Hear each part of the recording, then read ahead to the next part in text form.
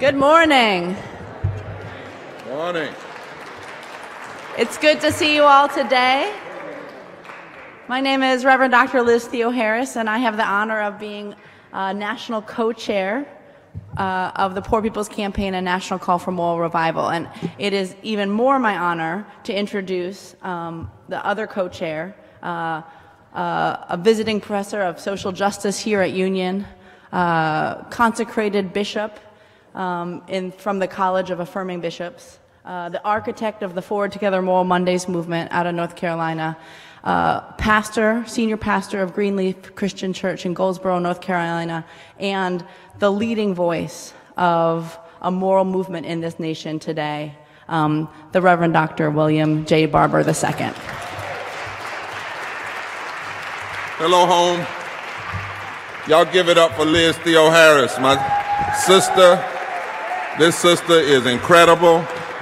And uh, we could not, this work could not be done without the two of us. And we're actually practicing fusion politics, right?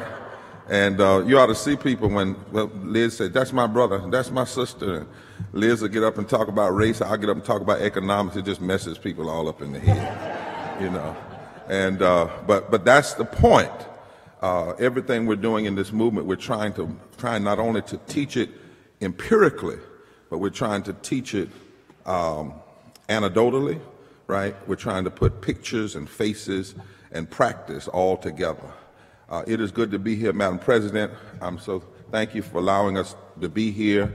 I, I promise you after this campaign to get this class done uh, that I'm supposed to do, because I'm going to be teaching all the stuff we've learned out in the field. Uh, Brother Davey, thank you so much, Doc, for, for all the ways in which you help us. Um, it is good to feel so at home. Union is the right place uh, that should be involved in the forefront of this movement uh, that is happening all across the country. I'm so glad to see each of you here.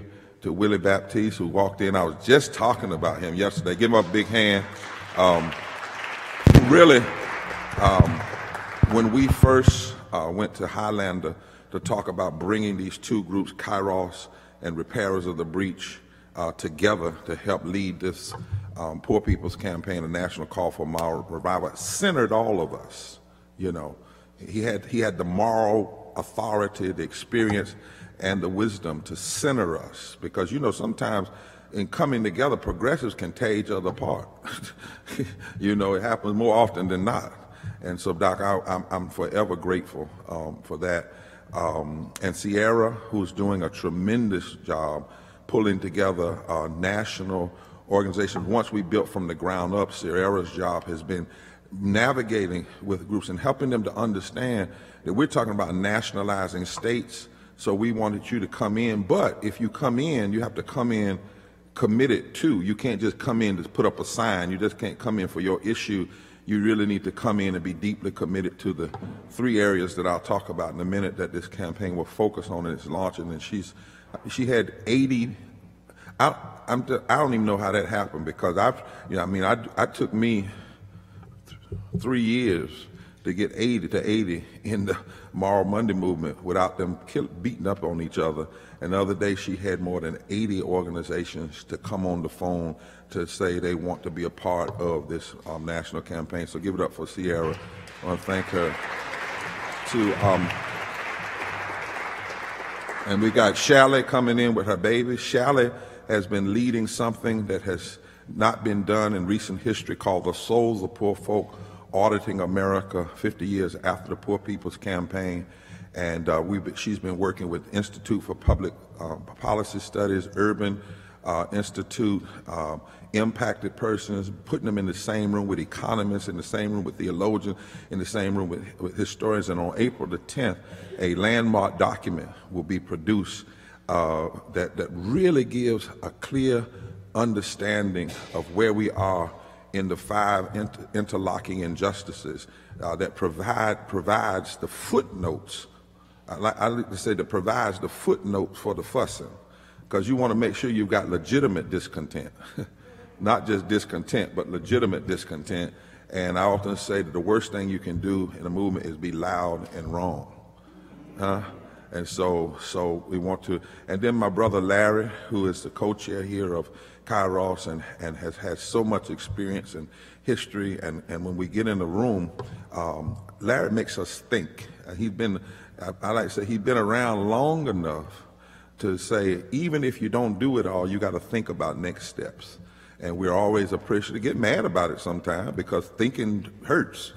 sometimes we don't want to think any further than the immediate. But he raises questions that are necessary for us to consider uh, because they're going to come, whether you like it or not, you know, and you, bet you best be ready to answer them. And, uh, and so many others. That Norm back there, and Norm who keeps Liz straight and everybody. Now, if I keep calling names, I'm going to miss somebody. So let me just say Roz Pelles, some of you may not know her, who was the national um, civil rights lawyer for AFL-CIO, was one of our co-managers of the campaign, John Parker is another co-manager, and Ben Wilkins, who helped lead the Fight for 15. Fight for 15 in the union is fully in with the Poor People's Campaign, a national call for moral revival, and um, and and he's on the team as well. And where is Cla Claudia? Is Claudia here? And, huh? Okay, and then we got Javon, Javon, who's back there leading our arts and visuals and the Theomusicology, along with uh, Yara Allen and Peter last night. I understand y'all had a big mass meeting at the Episcopal Church. I saw y'all online, and Dr. Ford was all in the floor and on the seats and everywhere. I said, Good Lord, what is going on over there? It must be a revival, moral revival happening in the land. Amen.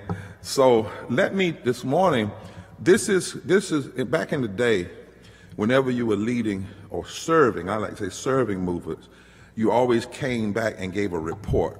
What's the status? So this is a field report. We took a break from the field. Uh, we're headed doing this today, and then tonight over at um, NYU, I'm doing a speech called uh, uh, SOS, Save Our Ship of State. Um, and then we're going to um, uh, Connecticut, New Haven, and we're going to be with Yale Divinity School as they're engaging there. And then we leave there and we're headed to Kentucky and West Virginia. We're going right in the hollows of the mountains. Uh, for two days. We're doing a tour with media embedded. We're going to places that a lot of progressives think you can't go, right? And so uh, we'll we'll be there. But we wanted to take a break from the field. I see Joe Ward here, who's who Joe Ward is a lead. Stand up, Joe. He's a leading uh, young man in communications, has his own company, uh, um, and he's a tremendous young man and does some great work. So what I wanted to do, if we could bring the lights down, I think a minute. Uh-oh, we lost the screen. Okay, okay, they just they just covering it up. So I want to talk a little bit about, first of all, the analysis, because in any movement, if your analysis is wrong, right, and and I want to talk about why in this movement we talk about poor people's campaign a national call for a moral revival, why we brought together the great work of Kairos, the work of Repairers, lessons from Liz's 30 years of experience, lessons from my years of experience, and everybody's experience, the Moral Monday movement, and why we think it is critical that in this moment, we don't just follow what the talking heads are saying. We don't just listen to people telling us, well, the reason we're here is because uh, uh um, white working class voters, so and so and so we, that we don't we do not just merely get caught up in Trump reaction or Trump Trumpitis. Because uh, if Trump was moved tomorrow, I, America would still have lots of problems, maybe more, because sometimes his mouth gets in his way and his feet get in his way. Uh, some people would be much smoother than him, and and and that's one thing. But but but we we we are in a moral malady and a place not because of what has happened over the last year and a half, but for because of 50 years of strategy designed to split us, designed to make us fight in isolation, designed to push the movement into silos. And we've got to unpack that with an analysis. So when we go around the country and teach, and by the way, you should know that we didn't just get on email and tweet and announce a movement. We've gone, um, for the last three years, we've done national tours. I, Liz, I sometimes wonder how that possible. We've done, in one year, we did 26 states in less than seven months. And last year, we did 15 states where we traveled to and trained people from over 25 states in less than four months. So this is deep dive organizing. We didn't start this campaign by saying we want to do a poor people's campaign. All the people that's got a mailbox in Washington, D.C. and a national organization, let's join and put a bunch of folk on a list and say we got a coalition. This movement is from the bottom up. It's from the bottom up. Because this country is not changed from Washington, D.C. down, it's changed from Birmingham, Montgomery up. Always has been, always will be. And when we went to these communities, we went by invitation. People invited us to come. We didn't go to argue with people who says we really don't need to do intersectional work and I've got my own um, silo and my own organizational ego and I want to do this. And nor did we go in and get in the room with a bunch of preachers to talk about the poor or a bunch of advocates to talk about the poor. We had the poor, the advocates, preachers, all in the same space on level ground, right? And the first thing we did when we went there was we introduced them to the, uh, our, the, our understanding of the state of our democracy, if you will. The state of what we call interlocking injustices. Write that down. Interlocking injustices. Interlocking injustices. Now, we, we went in with a premise. Uh-uh, take that one off and go to the road. That's the last one I want to come up. Right. Open now. We went in with the premise, after many years of studying and focus, that theologically and morally and understanding America, you cannot separate race and class. Somebody say, is it race or is it class? We say it is.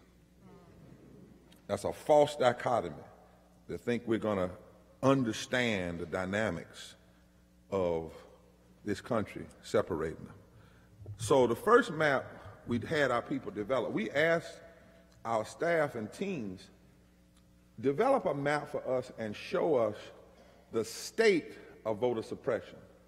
Now, everybody else, if you see all, if you look at CNN and MSNBC and those groups, not that I have anything against them, everybody talking about Russia and Stormy.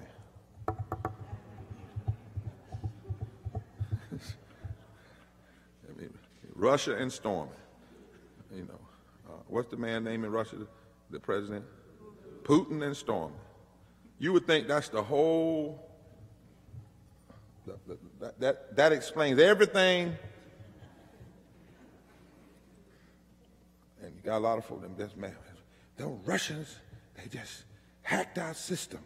And that's why so and so and so and so and so and so. Right? And even during the campaign, we had 26 presidential debates. Not just this year, but even year before. Let me, I mean, last year, but let me talk about the most recent. And we talked about tweets, emails, sex, sexcapades, tapes, um, tax cuts, middle class. And as Ari Berman says, the most underreported story, the most ignored story, the most the thing that is the most egregious in this democracy right now is racialized voter suppression. And nobody's talking about it. It's not being discussed in seminaries. It's not being discussed that much in public places of public policy. And, that, and, and it is a very theological issue, you know, because the last time I checked, now you all can help me, I'm not that good of a theologian, so I'm coming here for y'all to help me, that, that we only give voting rights to people. Is that, is that right? I mean, it, I'm, I'm not wrong in my Constitution. I don't think we give voting rights to puppies, pets, and parakeets. Right. We actually say that all you have to do is be 18, what?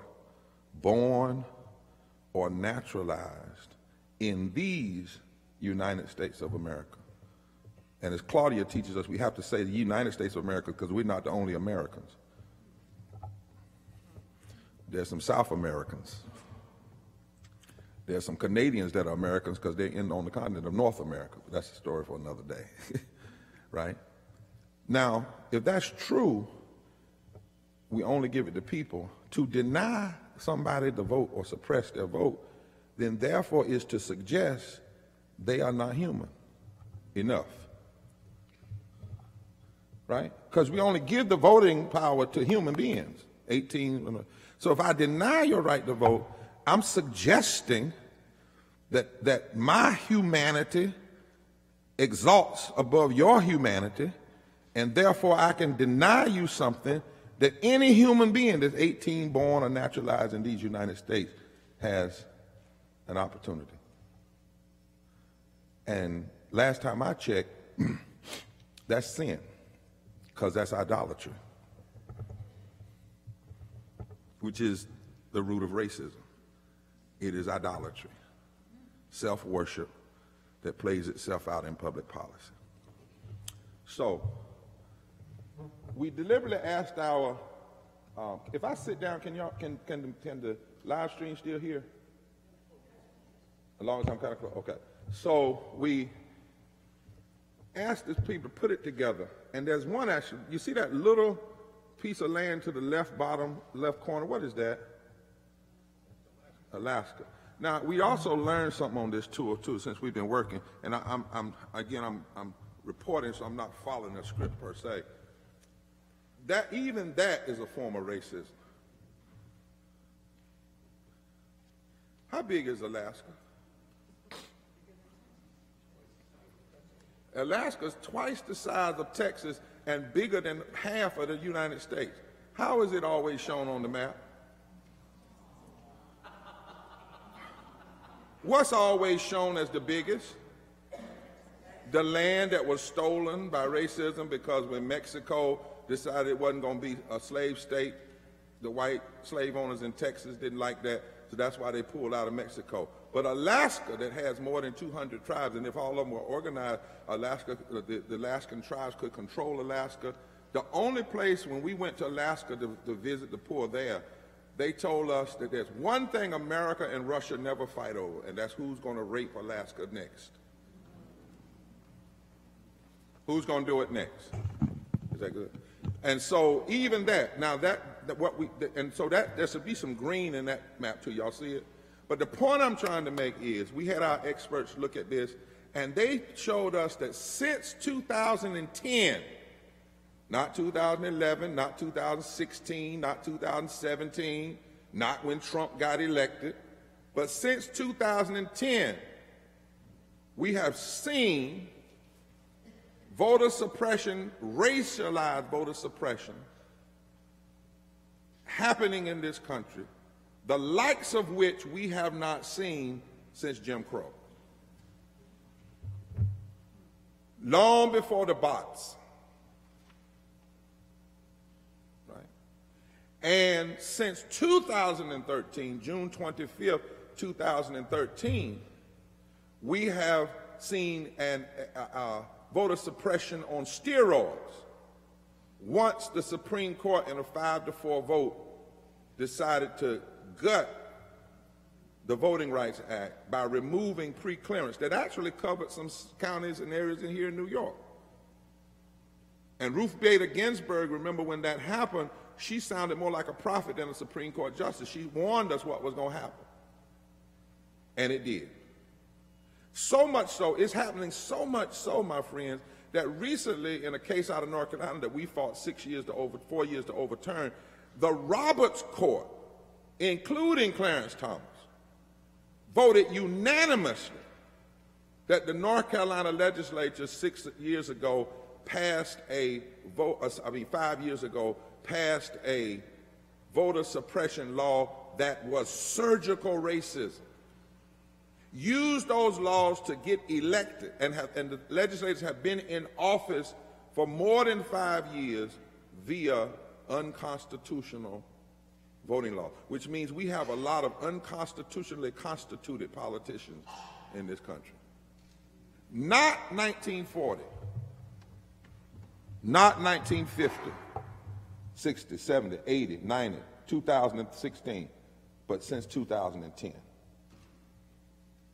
That's the penetration point that we are using in this campaign to talk about racism, to, get, to have a conversation and a focus on racism that does not devolve into just a personal, personal, you know, do you have any black and white friends kind of thing. That, that, that can so easily happen even after Charlottesville. The conversation does not go to policy.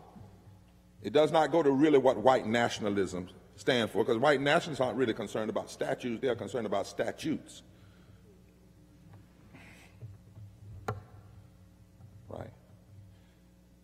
Voter suppression, look at it, look at that map real good. Include Alaska. Even New York is up there.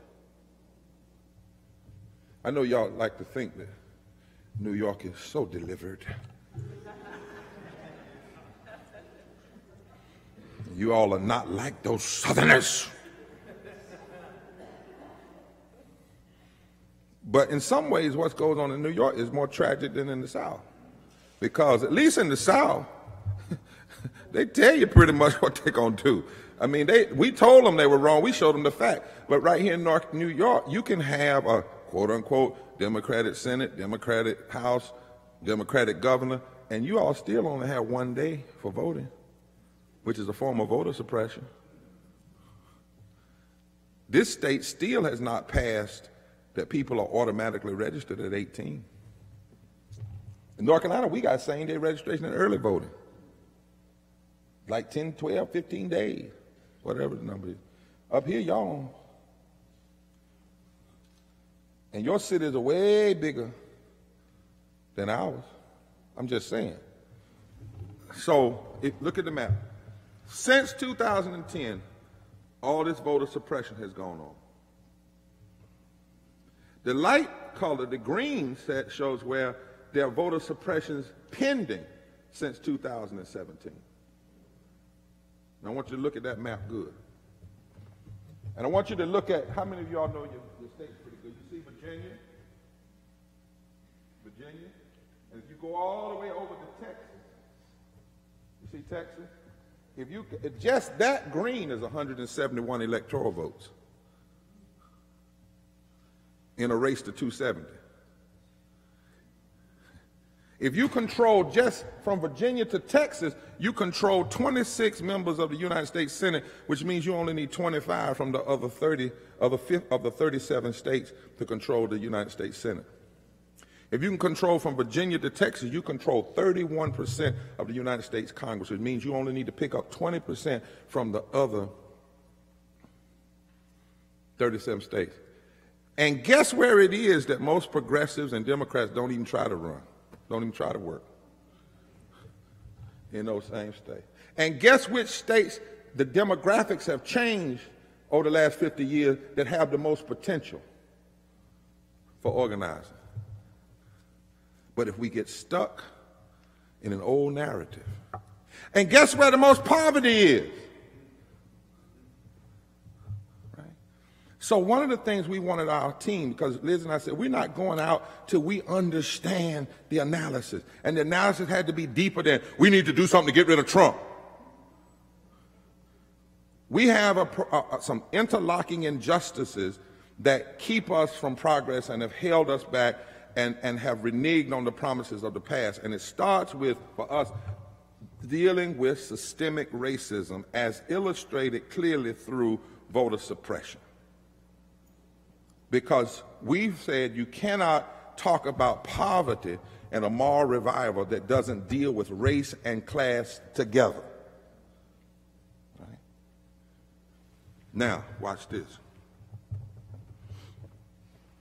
Go to the next map. Now, these are the states, the dark part where you have more than 24% of the people living in poverty. The majority, by the way, in those states are white, poor. Now, of percentage of race, black, but in raw numbers, white. And if you notice, the states with the highest poverty are the same states with the highest voter suppression. Go to the next one.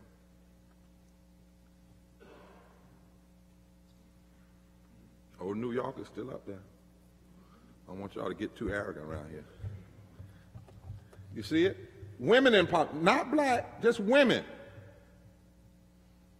Same states, almost identical, that have voter suppression, have high levels of women in poverty. Next one.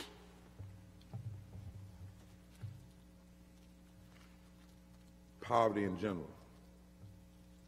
Look over there, for instance, at New Mexico, for instance. We, were, we, we, we, did a, we did training in New Mexico. Ain't a whole lot of difference between, notice no difference between Mexico and Mississippi or Alabama? See how dark Alabama is? Is that Alabama? Right over top of Louisiana. That's Mississippi. But you see, you can put New Mexico and Mississippi. Now, the, the, the, the demographics are different because you got the Pueblo people and whatnot. But in terms of the poverty rate and in terms of voter suppression, it, it's really not a lot of difference. Look at, look at how dark, um, uh, for instance, Alabama is, and then go over to Nevada. Poverty rate. And, and by the way, you know that you're not in poverty, according to the government, if you make $23,835 and you have a family of four. Just want you to know you're not poor. Next one. Who? Now, the same states that have all of this voter suppression, minus a few, are the same state that refused to expand Medicaid. And that makes up more than 8 million Americans, right?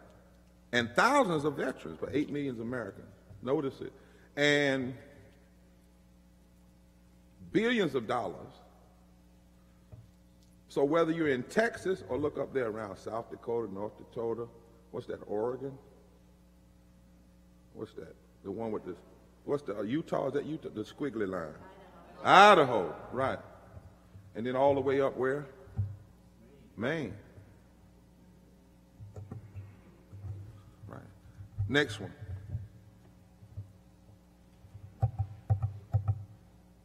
Same, go, if you keep in your memory voter suppression, you look at this map, same states for the most part were states where people living without a living wage. Now, the darker spaces is where the state has no minimum wage, where they haven't even gone in and said the federal wage may be such and such thing, but I'm at least raise it here in this state. And in the next one. Hmm.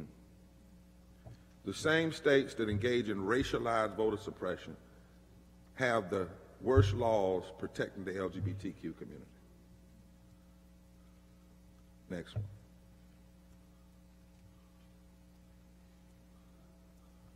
The same states that have the worst voter suppression laws have the highest numbers of people who claim to be Protestant evangelical. Now, before you shake your head, because I'm a Protestant evangelical, we don't see that as a negative. See, around here, I think there's a scripture y'all may have learned around here. We see that as a possible harvest. Because, see, if, if we get so arrogant, we write off people. See, I think that there's potential there because some, see, people will follow false prophecy until something else comes along. The point we're trying to make, though, by look, go back to that voter suppression map, is that we, when we go in and teach, we show people that if you merely start with voter suppression, racialized voter suppression as your beginning, and you look at the data, you can hypothesize, you can conclude that the very people who get elected by racist voter suppression laws, once they get elected, use that power to hurt all people. So that racism is not just against black people, it's against the democracy itself. And that's the message that we, we aren't hearing in our public discourse, which keeps people divided left, right, liberal, conservative. When in fact, we need to raise up some people who understand this analysis and can help show it to people to say to all of those folk, you're mad because you don't make a living wage? Well, guess who's voting against your living wage? The persons who are fooling you on the issues like being against the LGBT community, against abortion, and the people who get their election electoral power not by fair elections, but through racialized voter suppression. And there has to be a movement that connects those things because the parties don't want to connect it for whatever reason. You know, we had 26 debates in 2016. You didn't hear one word about this, voter suppression. We, we are, today as we sit in here, and I repeat it over and over again, we sit in this room and we have less voter suppression, voting rights today than we had in 1965 because the Voting Rights Act has been gutted. This is why the gay community can't say, well, we're just, we're going to fight for marriage amendment, but we're not going to be on the side of those fighting against voter suppression. This is why neoliberals can't say, well, we're just going to find an economic argument and not deal with the race piece. This is why African Americans and brown people can't just say, well, voting rights is our issue. We're not going to connect with these people who are also living in poverty and without Medicaid. This is why we have to go after the narrative that when we talk about that, uh, that talks about entitlements and the way it's talked about and said, it becomes a new, it's a code word for race and it means black and brown people because the majority of the people being denied health care are white.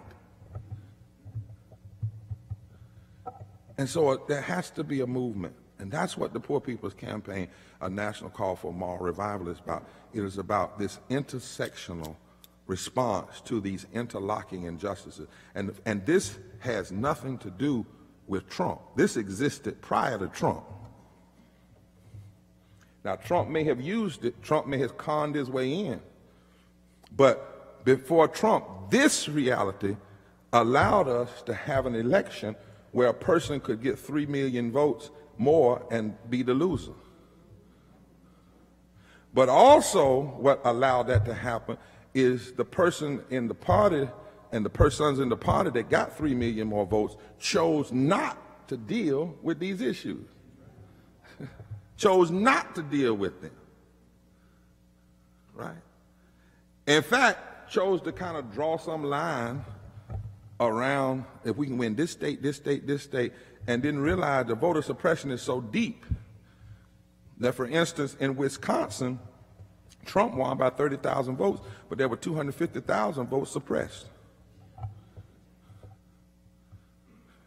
35% of African Americans in Alabama are blocked from voting right now, according to the current voting laws. So it's not that, that, that you can't win in the South, is you got to challenge those laws. There were 898 fewer polling places in the black, brown, and poor white community in this past election. This, this is, had nothing to do with Russia.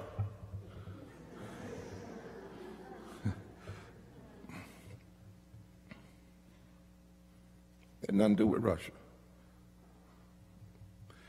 And so we need an analysis because the tendency in our, in our microwave view of looking at politics is not to be a movement, but to have a moment. And in the moment, we just focus on a person. And then we say that the next election, we're going to fix it. No. And, and that's the problem. We put all our apples in the next election cart if it goes well, then we turn it over to the politicians, and then the politicians who just don't have a movement to push them, they end up doing this thing called finding common ground and label everybody else as being a rabble. I was listening last night to Hope and Fury, and it's funny how people are saying language and they don't even realize where they got it from. So I was hearing somebody calling the students yesterday a rabble rouser, and I heard the, the governor of Mississippi in 1960 calling civil rights act the same thing, rabble rouser. But we get these people who want to just focus on common ground when what is happening is quite common. Now, common in the South don't mean something good. My grandmama said you were common. she wasn't being nice. you know what I'm saying? Um, so we, we said together, Liz and the team, look, we've got to do this analysis. And the analysis is we've got to get people, a remnant of people, who will come together and say, we need this Poor People's Campaign, a national call for moral revival, but we need to focus on five areas. One, systemic, and, and they can never be separated. And we have to show that these areas do not affect a small group of people, but they affect, affect us all. We have to show people that poor people are not just, there are people living on the street and it's ugly and mean, but you, you're not that far from there. All right? So we had to do systemic racism with a particular focus on voter suppression uh, systemic poverty, and we had to develop the data. If it was there, we didn't assume it was there. We had folk go search that says, stop saying there are only 40 million poor people in America and minimizing it. There are 40 million people in America that are quote unquote poor by that standard. That's a 1960 standard. But if you look at all the people that are poor, working poor, and who get supplements from the government, that if they're cut, it's 140 million people. And the majority are women and children and white. And the highest percentages are black and native and Alaskan and brown. But then we also need to deal with ecological devastation and what's happening to the community. Liz makes this point, and she makes it all the time. I, I, do, I talk about the, the ugliness of people being able to buy unleaded gas and can't buy unleaded water. But Liz makes a different point. She says, have you ever thought about, you have people, for instance, in Flint dying and be, well, be, get made sick, lead in their water, and they're closer to the largest freshwater deposit in the whole country might, maybe in some most parts of the world. It's sitting right there. You can see it.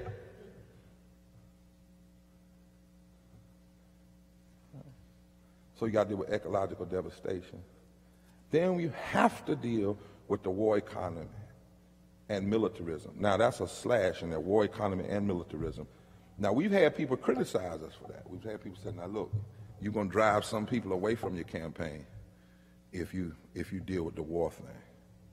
and, and because you know. And we said, well, but you can't deal with systemic racism, systemic poverty, and ecological devastation without dealing with the war economy because a lot of the, um, for instance, ecological devastation is caused by the war machinery. Plus, you can't deal with the poverty issue because if 63% of all the money, every discretionary dollar, is going into the war machinery, plus even if you could afford the war, as long as you allow this notion that if we the biggest is are the baddest and we have the authority to beat people down and take what we want, that reinforces racism because that's how racism got its hold in this country. We violently went after the native community. In, in recent years, we've only went gone to war with black and brown countries, and even with Bosnia, they were Muslim.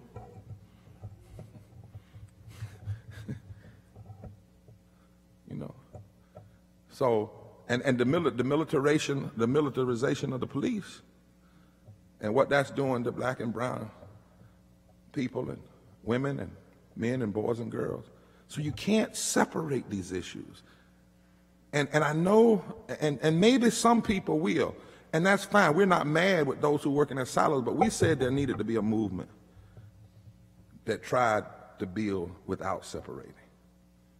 And then the last thing we said is looking at that map that we have to have a movement that takes head on, that goes right at the distorted moral narrative of Christian nationalism. Not with the hope of just destroying people, because that's the movement's got to be rooted in love and truth, not just truth, because truth can be so hard and, and, and, and, and love, if it's defined wrong, can be so weak and doesn't speak truth, but we need it both. And the reason is because You know, I tell my church all the time, if I didn't believe in the possibility of redemption, I would quit preaching tomorrow. See, I'm not, I, I can't preach for a check. and I can't preach for a vocation. I got to believe it will make a difference. And I got to believe it will make a difference even with people who are different from me. And even with people. So that all that map you saw about Protestant evangelicalism, I've got to believe that a lot of folk there just haven't heard the gospel. They just haven't heard prophetic truth. It's not that they just dumb, mean people. That's not the point. They've been lied to. They've been hoodwinked. They've been bamboozled. right? Right? And it's not just with white evangelicals, because you got a whole lot of black evangelicals that ain't doing nothing but having a party. They've lost their prophetic edge too. Right? But the point is, we can't allow the heresy of Christian nationalism to keep, just sit there unchallenged. Because before Russia, it was that stream of Christian nationalism that gave a little covering, just a little covering. In other words, they did Ezekiel 22 to Trump, for instance. And they've not just done it for him, they've done it for so many, but the most recent example, they did Ezekiel 22. You know, Ezekiel 22 says, Your politicians are like wolves. They devour the women. It's in the book. They hurt the poor. No justice for the immigrant and the stranger. But then Ezekiel says, but there is something worse than that. Your preachers cover up for the politicians. Tell y'all to read that Bible sometimes, some good stuff in it.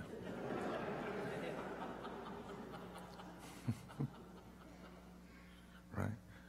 So, say, write down in, in, in, interlocking injustices require an intersectional response.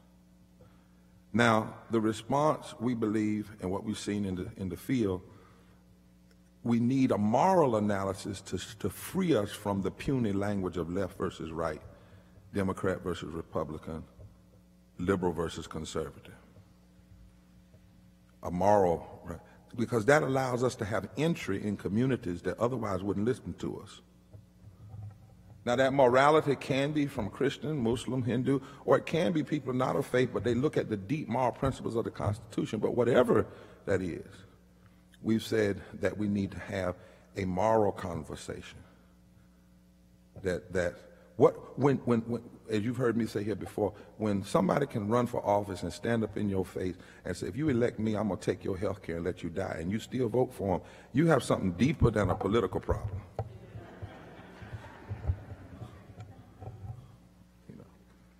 We also said we call this inter intersectional fusion. And a fusion movement is like, how many physicists in here we have? How many, any physicists? You know, the sun is bright because of fusion. Fusion is when these atoms come together and unite and they create more light. They're, they're powerful by themselves, but when they fuse, that's when they create more light energy. And fusion is when, when, when I'm not just in a coalition to get my issue fixed. We also said that this movement needed to have nonviolence at the center so that things don't get distracted, but it needed to be nonviolent, moral, fusion, direct action. We also have said that this campaign needed to be a launching, not an end. So we're not doing this because it's the 50th year of Dr. King's Uh, you know, you don't commemorate an assassination. I'm telling a lot of folks, I'm just so bothered by it. How are you going to commemorate? They killed. You don't commemorate the assassination of prophets. you go to where the blood was spilled, reach down in the blood, pick up the baton, and carry it the next way. You don't allow cities to make money off the death of your prophet. you know?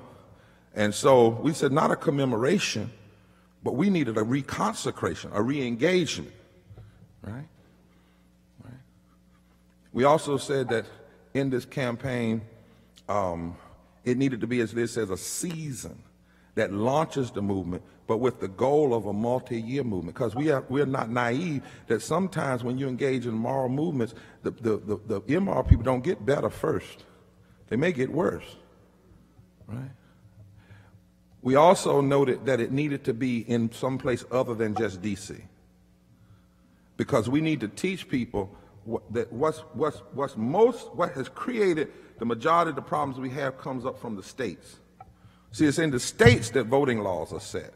States deny labor rights. States deny living wages. States can block health care. States can pass laws against the LGBT community. States can do this. Now, that's not to say that there's power in the federal, but we need to focus on the state houses and then in D.C. on the Congress. And the reason we're saying we don't want to focus on the Congress because I personally think, maybe this is just me, that part of some of this stuff that we see happening with the Trump administration is not just craziness. Some, some of it's crazy as a fox. See, I'm convinced now that some people who may say they disagree, that they don't, you know, with his antics, they don't mind his antics because it gives them cover for the other stuff they're doing. Because see, while we're looking at storming, they are storming the federal bench and putting all these, you see what I'm saying?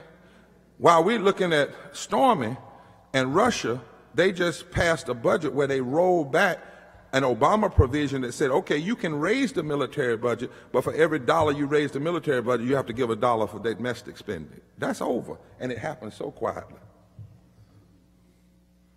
And I didn't even agree with the Obama piece. You know, I'm, I do not agree, but I mean, that, that piece, you can't raise it. I'm not going to sign the thing unless you do both. It's gone.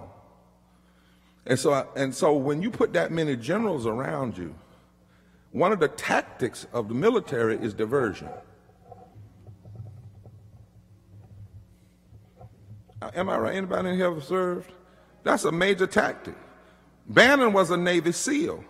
SEALs go in with small groups. How do they how do they accomplish? They use diversion. They start a fire over here, but they really working over here. And Bannon told us the goal. He said the goal was the deconstruction. Well, you're not just going to tear my house down if I'm watching you. I've got to do something to distract. So we said that we needed to focus on the Congress because let's take, for instance, the issue of voter suppression real quick. Um, the voting rights was gutted by who? Voting rights Act was gutted by who? What was the date? June 25th. Don't ever forget that date. 2013. Where was it sent? Where was their decision sent? After the Supreme Court gutted the Voting Rights Act, let's go to class. After the Supreme Court was voted to gut the Voting Rights Act, what happened to their decision? Where is it now? In the Congress. See, I'm glad you did that, Frown. See, that's the stuff we got to teach folk that when the Supreme Court, what they did was they gutted Section 4. Section 4 was the formula for how to determine which states are still committing enough racism through voter suppression to have to go through pre-clearance. The formula has to be set by Congress. So the Supreme Court did something real shrewd. They said, we're going to strike down Section 4 thereby nullify Section 5, but then we're going to leave it up to the Congress to fix it. So since two, June 26, 2013, who could have fixed it? McConnell, Boehner, and Ryan. Now, and, and if they fix it, then state governments couldn't be doing what? Passing voter suppression without it having to be what? pre-cleared. Thereby, therefore, a lot of the people you have in Congress wouldn't be in Congress. A lot of the attacks on voters, the, the attacks on voting wouldn't have happened. Thereby, you might not have as many people elected who are against living wages, who are against programs to help the poor. Am I making sense? So what does Congress do? Sit on it. How long have they sat on it? Since June 25th, 2013. How long is that? I don't know exactly. I know it's over a thousand days. Now here's the point. How long did Strom Thurmond filibuster the Civil Rights Act of 1957? One day. How many days did George Wallace stand in the door of the college? One day. And, they, and King called that interposition and nullification. So now, if Wallace stood in the door one day, we call him a racist. Strom Thurmond filibustered the Civil Rights Act of 57, we call him a racist. Ryan McConnell and Boehner have refused to fix the Voting Rights Act for over a thousand days.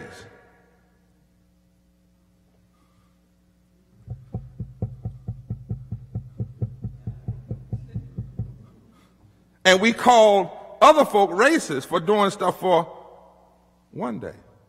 Am I making this sense? And, and, and so what they, and what they've done set up the Brennan Center says that the United States House of Representatives would probably have 18 seats the other way if it wasn't for ge- racist gerrymandering and voter suppression. Right? So my point is, we said we need to focus on the Congress and these state capitals. And this movement didn't just need to take people like they did in 68, not anything wrong with that, but our strategy need to be different. It's not about getting three or 4,000 people in D.C. alone. We needed to raise up people in all these states. So we went out all over the country. This is my report. We went out all over the country and we started training and we asked people to do 1,040 slash 40. Get a thousand people, impacted people and others, people who are willing to stand with the poor, not for the poor, who are willing to be trained in this fusion understanding, who are willing to engage in 40 days of direct action to shift the narrative, to force another analysis into the public square. Because if you don't shift the narrative, you cannot change. You cannot change the agenda. And I'm reporting to you today, the report is, with that analysis, with that understanding, with a lot of hard work, with going to all these places and training and doing mass meetings, I can report to you today that we have 39 states that have coordinating committees from Alaska to Alabama, from California to the Carolinas, that have been trained. We just spent three days in Nashville with, with the, the, the steering committee, and every steering committee has to have an impacted person, a clergy leader, and an advocate that have equal leadership authority. Equal leadership authority.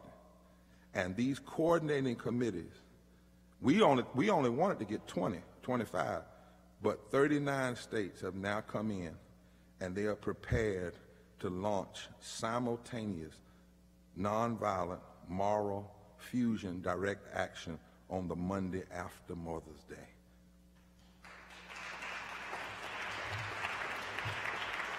And Jim Lawson told us in Nashville, this has never been attempted before in America. And he orchestrated and organized the, the, um, the Poor People's Campaign and much of the direct action of Dr. King. Now, are the coordinating committees exactly perfect? No. Is it going to look like your corporate office? No. Is it going to look exactly like your administration of your church? No.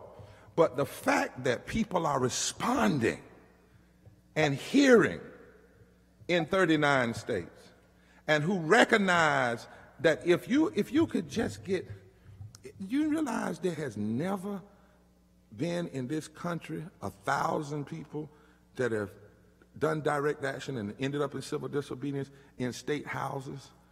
Uh, in, in, in, since I think when they told the historians told we did in Monday in Moral Monday was the first time it happened. I'm talking about at one time in, in over a period of time.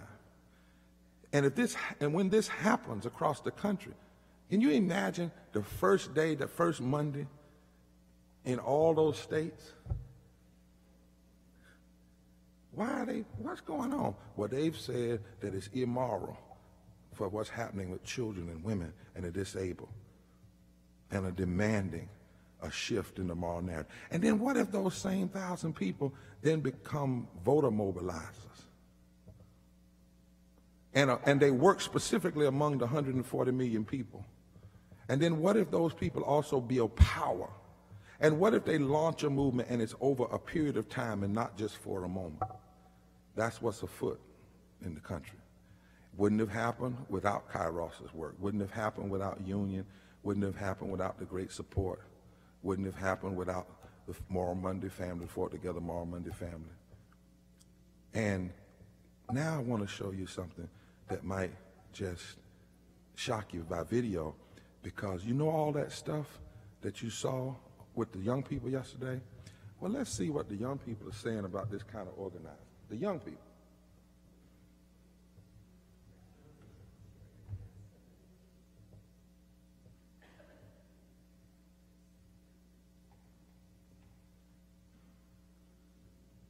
School of some adult. It's not true.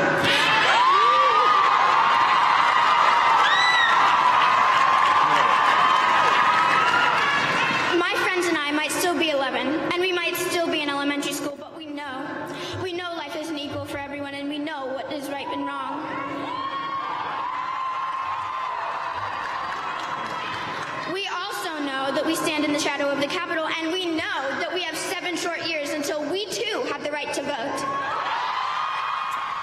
The kids behind the March for Our Lives movement are reinforcing the importance of holding elected officials accountable and using their voices to provoke change. My next guests know all about fighting for justice for those whose voices might not otherwise be heard. Back with me is Matt Post, a high school student from Montgomery County, Maryland, who spoke yesterday at the march in D.C. And joining me now is Bishop William Barber, president and senior lecturer of Repairers of the Breach, and Wendsler Nosie, founder of Apache Stronghold and former chairman of the San Carlos Apache Tribe. Thank you all for being here. Uh, Bishop Barber, you tweeted yesterday, listening to these students today, I know this is just the beginning. We may see sit-ins in Congress and state capitals and massive voter turnout this fall. Tragic deaths are being turned into a resurrection movement against guns and violence. Hallelujah. Um, and we have, we, we actually brought Matt back because he was in an earlier segment, but we know that he is an admirer of yours. And so wow. you have a chance to give him some direct counsel and advice on how to take this movement to the next level. Well, you know, Joy, I'm actually taking a lot of advice from these young people. The Bible says that we shall be led by a child.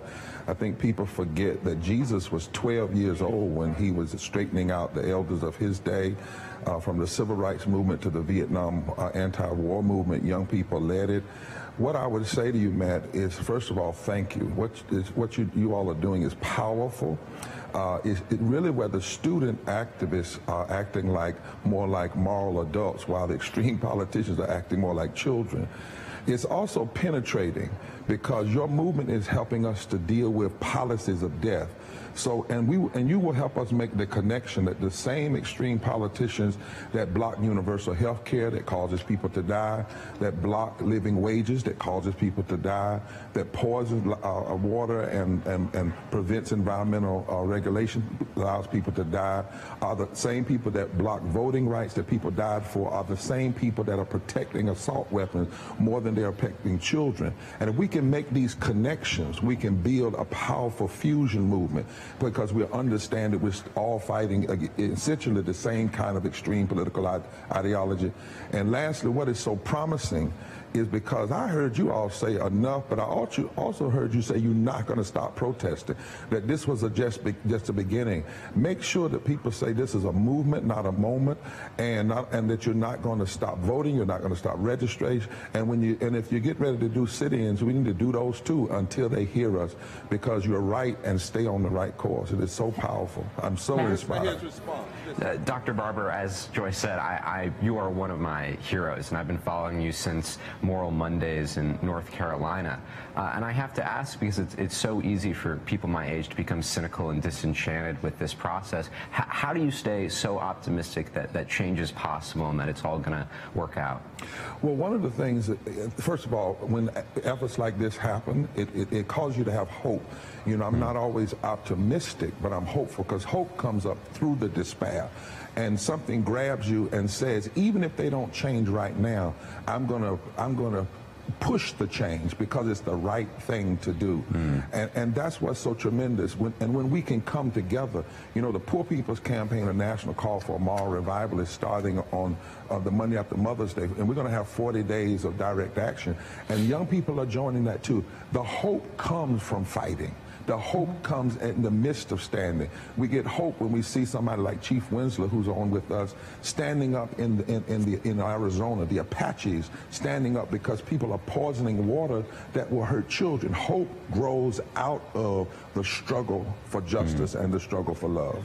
And let's bring in uh, Chief Wendsler, um, and because you know one of the things I do hear this a lot is that you know we talk about all of these movements, whether it's movements against gun violence, uh, movements uh, against um, the harm to the poor that's being done by our government, um, and I do hear a lot that you know we need to talk more about the harm that's being done to our first people, to the Native Americans in this country. Uh, we did a lot of coverage when that pipeline, the no D the DAPL pipeline, was being you know pushed through the Dakotas, um, but you know the struggle for for for your communities is often really really invisible. So tell us, um, you know, tell us what we need to know uh, in order to connect your movement to the rest of these movements. Well, I think it's really important when it comes to the history of the founding of America. And as I say across the country, there's the first chapter to this whole thing. And we, if we can unlock that door, we'll be able to identify these policies and rules and, and how America was founded. Because the first chapter really carries all that hardship and, and because of that first chapter, we were put under the, the rug, never to be heard, never to be seen. And that's why in this movement it's so crucial because it's an overall healing, not just one section. It's going to take all of us to come together. And like I tell many of the people, when it comes to colonization, the white people were colonized first. Then ever, ever since then, everybody else now comes to the native people here in North America that has seen this transformation happen and come here. And so that's why I say to my Native brothers and sisters, it's going to take us all to unify together to stop what is evil mm. happening across yeah. this country. And that's why it's so important. George, I, I want to jump in here because I have never cried like I cried when I went to visit Chief Wendsler on the Apache Reservation in Arizona and heard the children talk about their fear because a multinational company is drilling in that land, you know, and it was and it was given over by a politician, but they're drilling joy and and and polluting the aquifers that are not just going to hurt people on the reservation, but hurt all people. And then the waste that comes to the top, if it's airborne, it causes cancer. And to hear these young people fearing for their lives, fearing for their future, uh, and this is happening on federal land, which is all of our land sacred land where um, they're, they're even having attacks where their holy church, their holy land is being destroyed right in front of the children. And the children are joining the chief and leading this effort, is saying, we have to stop this. And that's what I say to all of these young people. We have to connect in a fusion all of these movements. The movement against assault weapons, the movement for health care, the movement for voting rights, the movement to protect children on reservations, all of them are a moral movement that we must bind together. And you know what I love about uh, you guys, Matt, is that you, your generation already knows that. Absolutely. There is a soullessness to our politics, as mm. Dr. Barber was saying. And we are going to change that. We're going to bring compassion to government because we are a compassionate generation that has a strong sense of our moral values and what is right and wrong. We have to differentiate between the greed of our politicians and these different lobbies and what is going to help the most amount of people. Yeah, absolutely. And Chief Wendsler, uh, talk, talk, to me about the young people um, that are uh, a part of the Apache Nation. And, and you know, we, we. Did you hear that? He said there's a soulishness. Now, he ain't not in the divinity school. But that young folk, brother said, if you want to connect with these young people, number one, they already understand that you can't do this in a silo. They are just using this, part, not using it, this has been forced upon them, but they understand the connections, the fusion. He said there's a soulishness, and we come to bring compassion. So all of the people are talking about how do we reach the young people? You better have a moral movement. You better have Poor People's Campaign, a national call for a moral revival, because there's a soulishness. And I didn't say that. That wasn't scripted. That wasn't even planned. We were supposed to be on just me and, and, Chief Wendsler, and this young man was on the earlier section session and asked to stay on the air. And then called afterwards, Liz, and said, I want to know how we can launch with y'all. So on that show, you see, and the Apaches have sent a cry out to the other native tribes, and we're having a council on April 23rd on the reservation in Arizona, where we sit in the circle with the different nations. You see, that's why this analysis is so critical. Now, one other, show the one, this one. Want you just to see this about what is possible and why we cannot give up. And when you see evangelical, you can't automatically, bleh, race, class, and especially now, our politics. But in our next Race Matters conversation, NewsHour special correspondent Charlene Hunter-Gault talks with the co-authors of The Third Reconstruction, how a moral movement is overcoming the politics of division and fear, about their success in bridging these divides. In recent weeks, Reverend William Barber stepped down from heading the NAACP in North Carolina to focus on what he calls a national moral revival, updating the Poor People's Campaign started by the Reverend Martin Luther King Jr. that linked the civil rights struggle for African Americans to demands for equality for all poor people. There was this thing, if you will, called the white Southern strategy. And the goal of it was to undermine black and white fusion coalition. What we're going to do is we're going to figure out a way to talk that makes poor whites think that they're losing because black people and brown people are gaining. And what you do in that is you make poor whites and who should be allies with poor blacks think that their problem, their poverty, is being caused because black and brown people are acquiring something or taking something from them. So, what, what led you to try and bridge that gap? And what made you want to do that? Dr. King said uh, back in the 60s, he said, the only transformative force that could really fully transform America would be for poor whites and blacks and brown people and working people to come together Jonathan Wilson Hartgrove's conversion began when he first met Reverend Barber. Before that, he'd been a young Republican who had worked both for the Moral Majority, a political group associated with the Christian right and the Republican Party, and also for conservative South Carolina Senator Strom Thurmond. What, you, what was your own attitude about poor black people and black people in general? Well, so I was raised in the Southern Baptist Church in a sundown town until 1983, there was a sign at the edge of our town that told black people they weren't welcome there after the sun went down. I've read that you call yourself a racist in those sure. days. I didn't know I was a racist, but Reverend Barber helped me see that I was a racist, and more importantly, that my racism was getting in the way of loving Jesus which is what I really wanted to do. Wilson Hartgrove first heard Reverend Barber some 20 years ago at a meeting called by the North Carolina governor. Reverend Barber delivered a motivational speech to a gathering of young people. Wilson Hartgrove was moved by what Barber said and began to understand how racism had been used as a tool to divide. Growing up poor, Wilson Hartgrove had never before realized what he had in common with poor black people. We were taught to believe that there were people who were poor because they chose to be poor. Mm-hmm. And, and that narrative kept us from seeing the way that our religion was being used to pit us against other people. Reverend Barber has even taken his message into Appalachia and up to Mitchell County, North Carolina. You know, Mitchell County, North Carolina, is a place where in 1920 all the black people were run out of town over the accusation of a black man raping a white woman.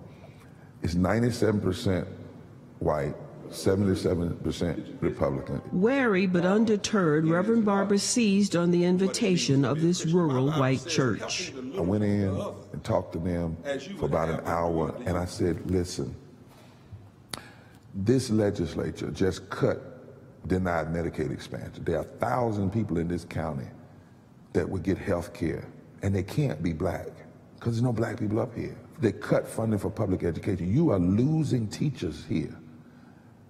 and, mo- and they have to be white. Now, you voted for some of the people because what they told you they stood on prayer in the school and abortion and homosexuality. But let's look at what they're doing and how it's hurting you. So basically, what you did was to talk to them about the things that they had in common, and it and it registered. It it permeated their consciousness. You talk to people honestly. You talk to them about what it means to be a human being, and you show them the hypocrisy. You know, you show them how they're being fooled, if you will. That people are saying, "I care about your best interest but those people are actually putting in place policies that are hurting everybody. What strategy did you use to reach people who had been brought up like Jonathan, what did you do to convince them that this was not right?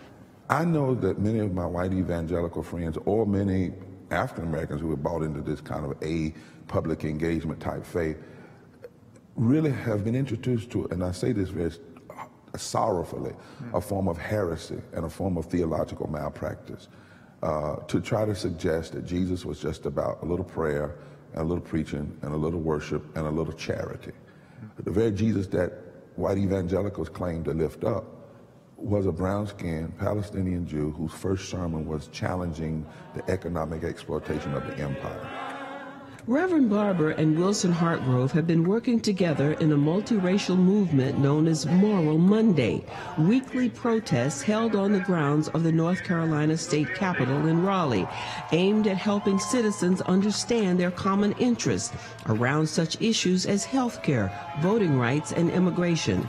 Also, how they are affected by these and other governmental policies, regardless of race or class. When we went into the first Moral Monday in a diverse role as clergy investment, first some people laughed, they said we were a nuisance, but then they started seeing more people come and they looked diverse. That's my teacher getting arrested. That's my doctor. That's a black man and a white man walking together. That's a Jew and a rabbi and a Christian. What's going on? So people began to come, even though they didn't get arrested, they would come the Moral Monday movement is the foundation for Reverend Barber's latest project that he intends to take to some 25 states. What can be learned from our experience is that white people need to talk about race honestly. Uh, we need to say, uh, of course we're racist. This is a country that's built on white supremacy. You know, it's, it's not like a personal failing. I inherited this. R- racism is about structures that pass on what we inherited, right? Inequalities that, that we inherited are written into these structures. And, and when we help white people think about that, um, I think we're, we're making it possible to form alliances that we haven't been able to form. And black people can't be afraid of that. We have to look back in history when black and white people came together right after the Civil War, we fundamentally changed this country. When black and white and brown people and Jews and Christians came together in the civil rights movement, it was transformative. Are you at all optimistic that the kinds of things that you're doing are going to make a difference in ending racism? I think racism is the fundamental challenge to the American project. This is a country that was built on the original sin of race-based chattel slavery. It is how the, you know, concentrated capital in this country from the very beginning has maintained power. But I don't think that, uh, that the future of America is possible without dealing with it. I'm hopeful. Optimism is a different thing. I believe we have to be the kind of what I call moral dissenters, moral defibrillators who shock the nation. But, but we also are seeing something in the wind. You have white people marching with Black Lives Matter. Mm-hmm. I heard a friend of mine who's a Sikh, and she put it like this, she quickly, she said, a tomb is dark and a womb is dark. But there's a difference. A tomb is death, a womb is possibility. It's dark now, but if we push together and come together, I think this is a birthing moment. For the PBS NewsHour, I'm Charlene Hunter Gault. So I have one more report, but I wanted you to see that and to see the pictures. That's like we're putting a face on. We're not talking about proposing. we have seen in Mitchell County and other counties. Liz has deep history and videos that she can show. And this is recent. Right in the midst of all this other stuff where the TV is choosing to show other things, something else is going on. And the last piece I want to show you is using this analogy, talking like this, going with places. This last one is actually showing you across this country what is happening with the Poor People's Campaign, a national call for revival. I want you to look at the diversity in the crowds. I want you to look at when the cities and the states that come up. I want you to hear what Liz is saying in those places. And I want you to get ready to join us uh, on that first Monday in New York and in Washington, D.C. It'll be at uh, 2 o'clock, the rally, 3 o'clock. We're gonna, you're all going to get flyers and everything. We'll, we'll go through that. And even if you don't do the direct action, as you saw, people would come and witness. Sometimes we'd have 10,000 people witnessing 100 people. But the point is we were together, and it began to shift the moral narrative. So I want to show you, this comes from what happened over the last, what, six months, Liz? Six, maybe six months um, in terms of organizing this last piece uh, of the report. I hope I get a fair, Liz, are you grading? Well, whoever's grading today, I hope we get a fairly decent report. All right.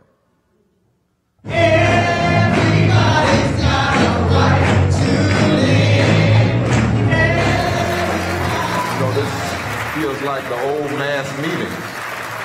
We're here, and all of our diversity, we're here in the human family. There is a fire raging now for the poor of this society. They are living in tragic conditions because of the terrible economic injustices that keep them locked in. We have to deal with our war economy and systemic racism and systemic poverty and ecological devastation. And finally, we have to deal with the moral narrative. This wall, this is sin of the highest order. We are traveling around this country building this Poor People's Campaign, a national call for moral revival. What we want to do now is hear a little bit from the local community who are a part of this campaign. I've spent five years, five or so more years homeless. Living on minimum wage has caused me to have to figure out on a daily basis how to afford basic necessities. While the U.S. spends trillions abroad, my friends, family, and fellow veterans suffer the economic consequences of the war economy. I have two children, and I enjoy raising them while acknowledging that being poor is a struggle of human rights. But when I lost my housing, health care, and income all at the same time, I was terrified, panicked, I want to stand here and reclaim the power and dignity of the mujeres in my life. I can't afford to pay a cab. It was one thing to know that you didn't have water and you couldn't afford your water. It's a whole nother to find out that they shut off your entire community and none of you matter. And in the aftermath of climate change disasters, poor people are, and people of color are the ones to lose their homes. Who can survive with 725? No parents should have, in America should have to bury their, their children for lack of medical expense. Being poor is not a sin. Poverty is a sin. Being homeless is not a sin. Homelessness is a sin. We are the living reminder that when they went to throw out their white trash, they didn't burn it. But for those of you who attend a church and you have a choir, the choir is not up there giving that A and B selection before the pastor just because they're cute. The intended purpose is so that they can set the atmosphere, so they could make it ready for prophetic speaking.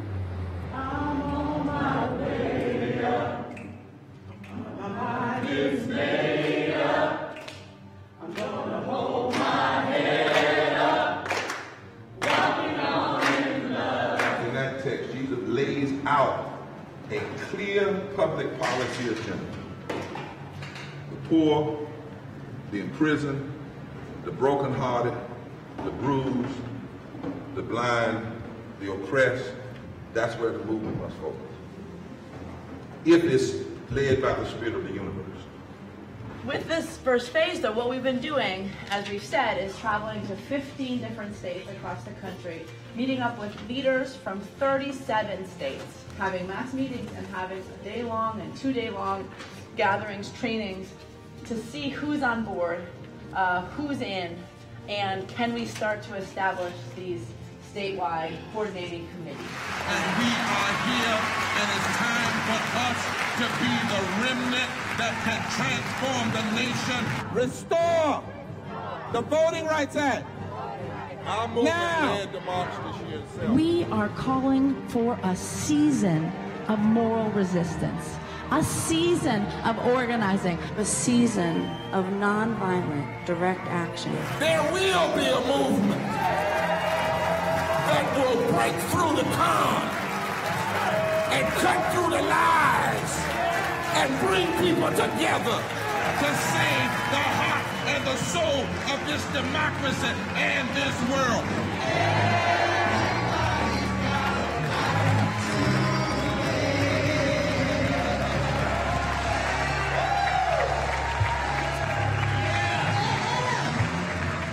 That is not a dream. That is happening right now all across America. People are ready to go. On April the 10th, we will launch at a national briefing the Souls of Poor Folk Auditing America 50 years after at the National Press Club. And from there, we will have exactly about um, um, 24 days before the first launch, simultaneous in more than 30 states and the District of Columbia. People are ready. The nation is ready. God has shown us that God is ready. And God is waiting on us. As the book of Amos says, God says, if I can get a remnant that will shut down the malls and shut down the factories and cry out in the public square, Amos 5, God says, then I will visit you and give you assistance. So everywhere we go, we ask people, could it be that the breakthrough is simply dependent upon us standing up? And then the spirit of the universe will give us and grant us divine assistance. Thank you for letting us make this, me make this report. I hope it, um, you don't grade but so hard and if so great on the curve. Uh, but I wanted to do it in this way and with video and with some conversation. I know we have a worship service in what? In 15 minutes. In 15 so minutes. People should just stay put. Right. It'll start right at noon. So I'm sorry, y'all might have to hear me again. I know you're going to say, Lord, but just do this. If you are sleepy or tired, in the church back home, we tell people, don't let your head do like that because it look like you're saying no. Just nod like this.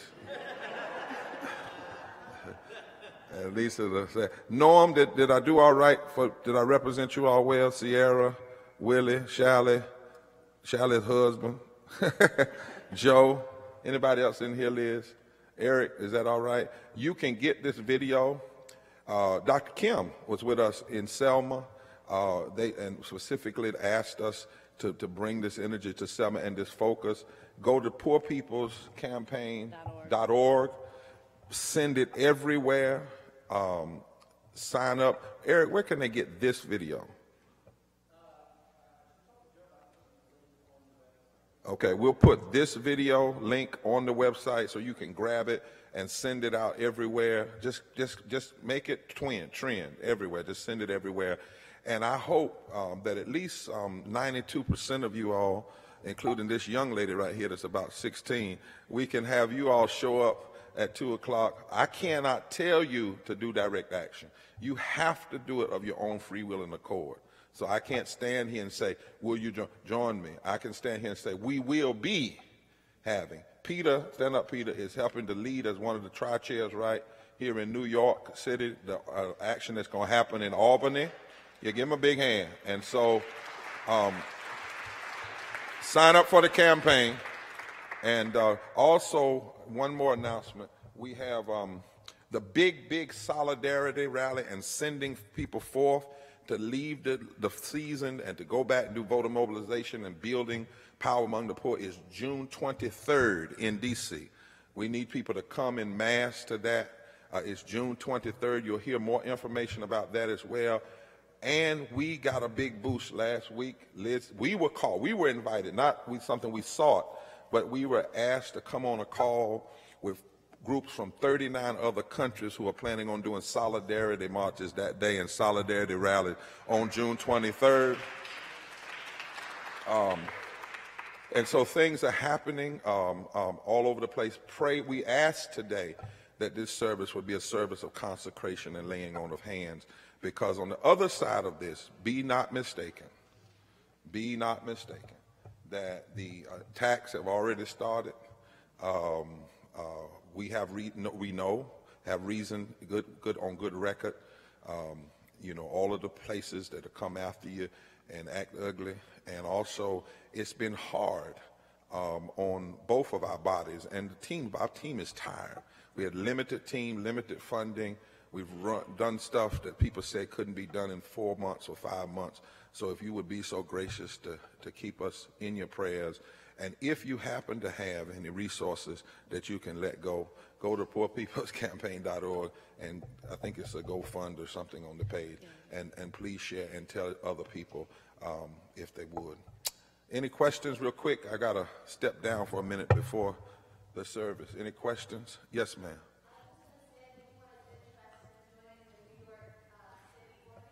Right.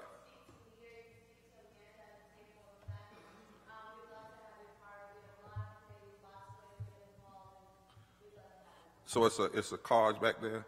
And for those on live stream, it's www.poorpeoplescampaign.org. www.poorpeoplescampaign.org. Let's do this, y'all. Let's do this together. Amen.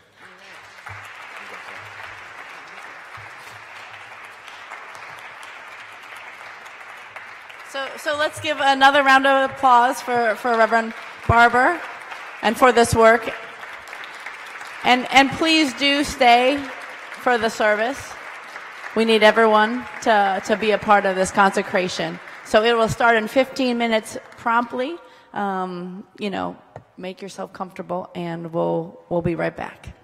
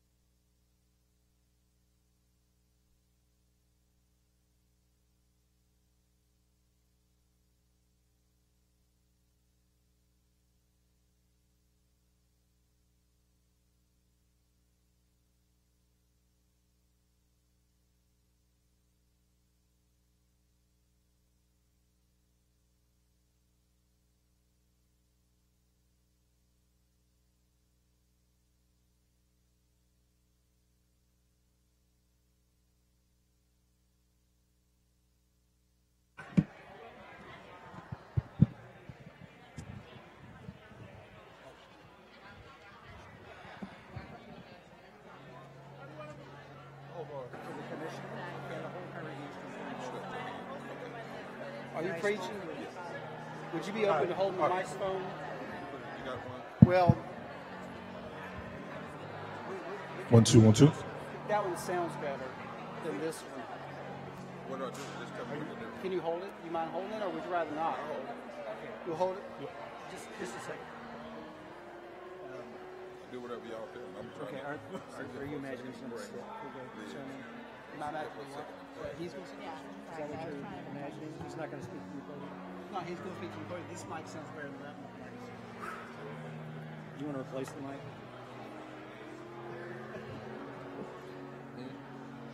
I'll do whatever. This man, he's in charge. Whatever he says. He's in charge. so whatever Troy says. Uh, it, it's fine. It's just. Well, I might just take. Never mind. Don't worry about it. I might just take, my microphone up here. then I- Oh, and have it. Okay.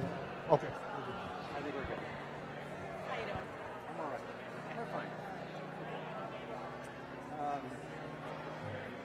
yeah, I think we're, we're cool.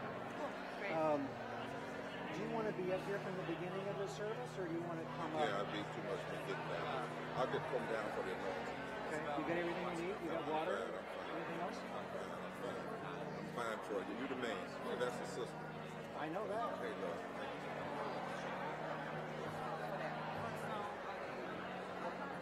Okay.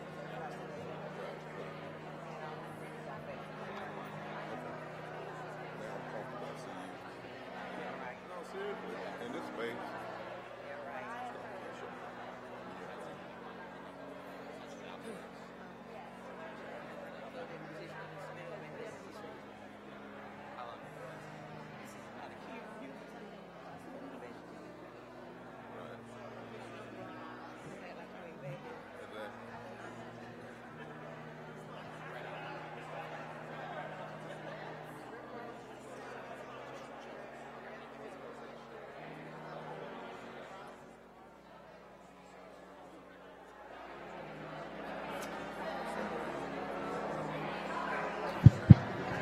One, two, one, two. Testing one, two.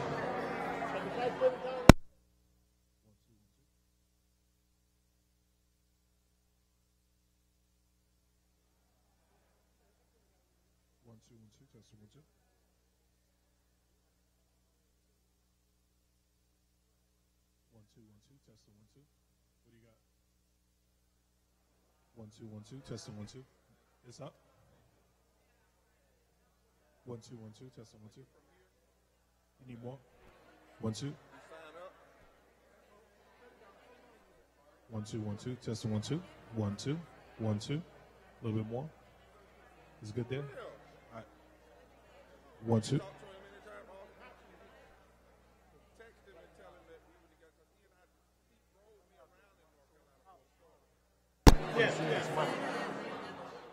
Yeah, tell him I said hello and tell him that we saw each other today. Okay? One, two, one, two. Testing one, two. One, two. He might do a story on it.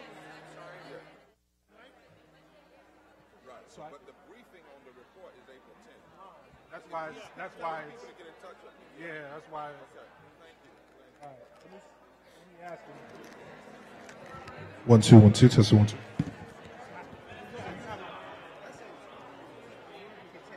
All right. You want me to get on?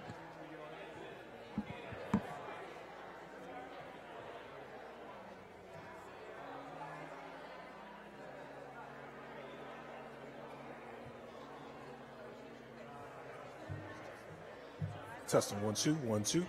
Testing one, two. One, two. Testing one, two, three. You good? Okay.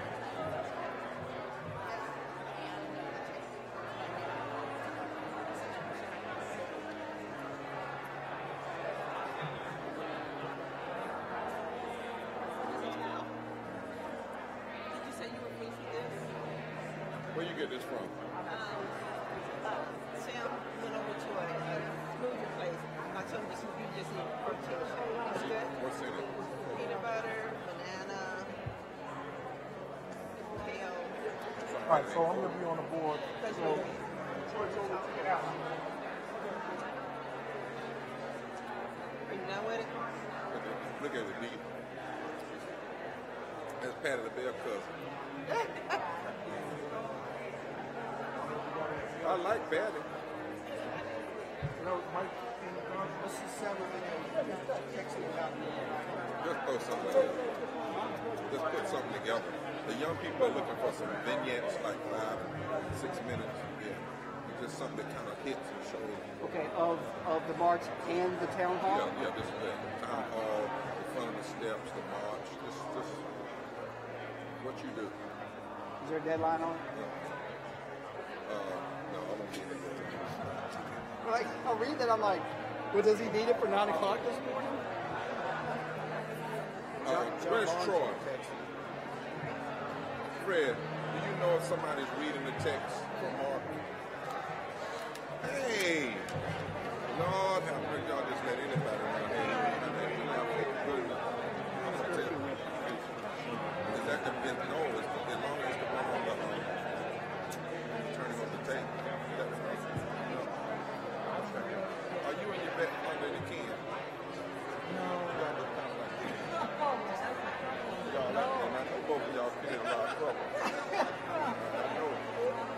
Doesn't take one to know one. Well, you know, I was going to say, any more trouble than you you have? But, uh, well, you know, we're and so, uh, we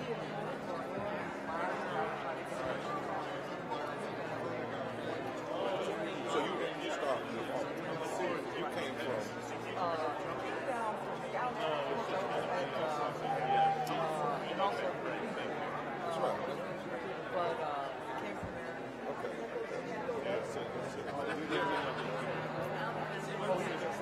How can I get in touch with you? Okay. Yeah, so give it to me before we leave. Oh, I know, this, this guy, this guy. Don't deal with him. You don't, you don't get me gel and all everything, so I'm I'll go to. with you.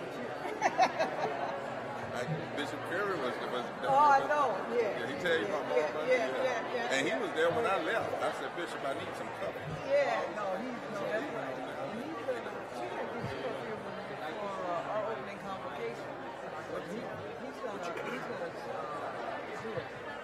Is it? Well, let me tell you a big ask. Okay.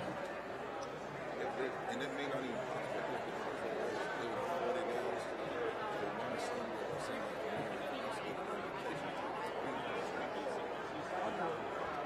You tell me when.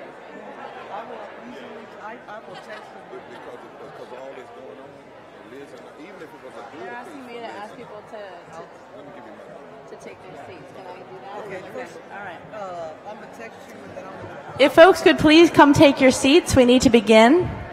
Please come take your seats.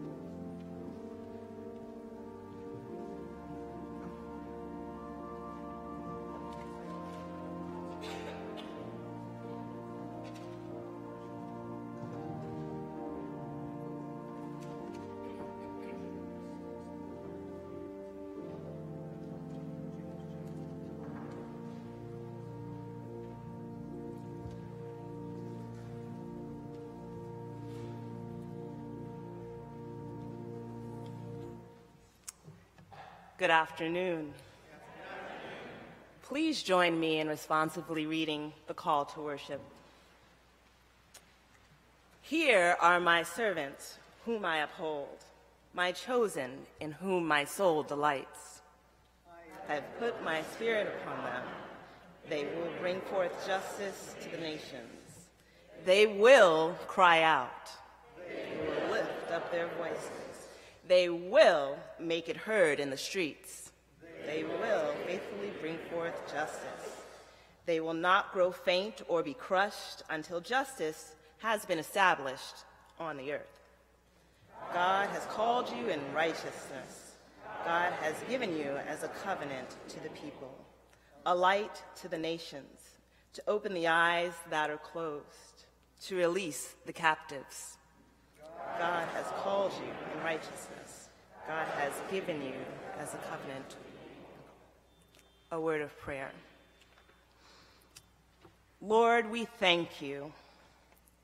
For eons, your prophets have taken on the unpopular, the tiring, and oftentimes costly task of proclaiming you.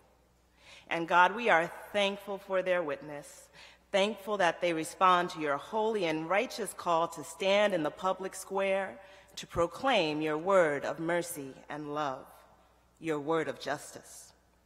Thank you for giving them as a covenant to the people. And there comes a time, Lord, when we must all stand and become the prophet, when we must cry out as the least of these, as the youngest, as the dispossessed, as the poor, that enough is enough and that we all have a right to live. A time when we must move for the heart and soul of our nation and call for the ending of militarism, economic exploitation, racism, and ecological devastation. A time when we must take our stand on the moral arc of the universe and go all the way, joining the movement toward justice. And so we ask you, Lord, to order our steps, order our thoughts, our minds, our tongues, our action, as your word is proclaimed through this movement, the Poor People's Campaign, the national call for moral revival.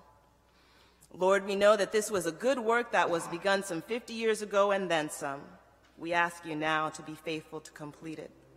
Yes, Lord, we say kairos, now is the time, but Lord, we know all time is in your hand. So we commit ourselves to you first, always, and especially in this time, in this service of consecration. Lord, please order this service. Lord, come by here, come and tabernacle with us. May your spirit rest on us in this place today. May your spirit fall afresh, Lord. Mold us, make us, use us, your prophets, Lord. We ask your blessing as we send out all those gathered here and beyond that are involved in the Poor People's Campaign. We thank you for hearing this prayer, and we give you all the praise and the honor that is due you. In your most holy name, we pray. Amen.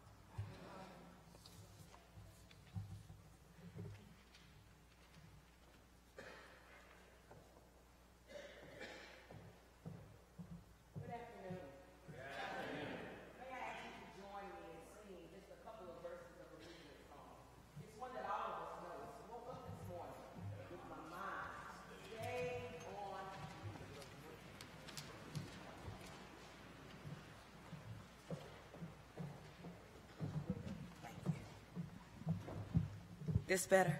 Okay. Woke up this morning with my mind stayed on freedom. Oh, I woke up this morning with my mind stayed on freedom. I woke up this morning with my mind stayed on freedom. Hallelujah. Hallelujah.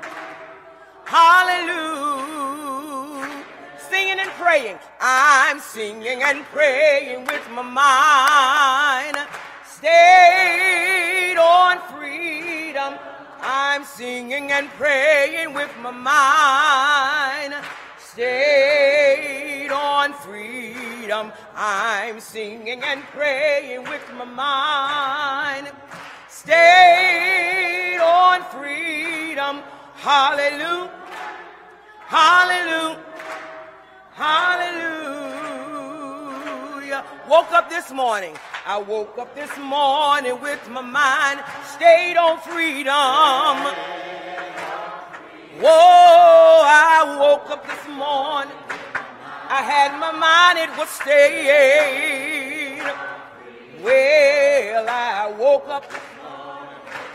I had my mind, it was stayed.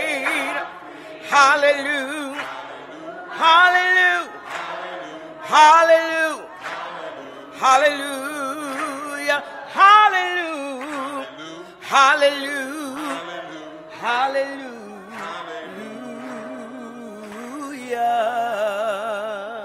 Amen. Amen.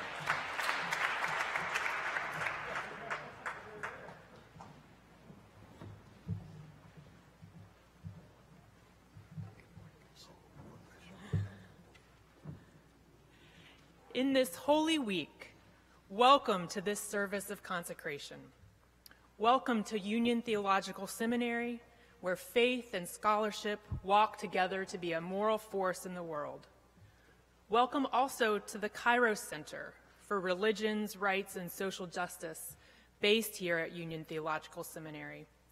Kairos has been part of the seminary since 2004 and works to strengthen and expand transformative movements for social change that can draw on the power of religions and human rights. Kairos' co-director, Reverend Dr. Liz Theoharis, is a co-chair of the Poor People's Campaign, a national call for moral revival. We are overjoyed to be here today to lay hands on this campaign, 50 years in the making. The Poor People's Campaign, a national call for moral revival, is uniting tens of thousands of people across the country to challenge the evils of systemic racism, poverty, the war economy, ecological devastation, and the nation's distorted moral narrative. If you are in this room today, we have a place for you to join this effort. And today we are honored to welcome the campaign's co-chair, the Reverend Dr. William Barber II. He is the president and senior lecturer of Repairers of the Breach, bishop with the College of Affirming Bishops and Faith Leaders, visiting professor of public theology and activism here at Union Theological Seminary, pastor of Greenleaf Christian Church, Disciples of Christ in Goldsboro, North Carolina. Reverend Dr. Barber is also the architect of the Forward, Together Moral Mondays movement that gained national acclaim with its Moral Monday protests drawing tens of thousands of North Carolinians to their state general assembly, including over 1,200 arrests of peaceful protesters. Bishop Barber is the author of three books, all required reading in this Kairos moment. Let us open our hearts and minds to the good news that comes to us again and again in new ways.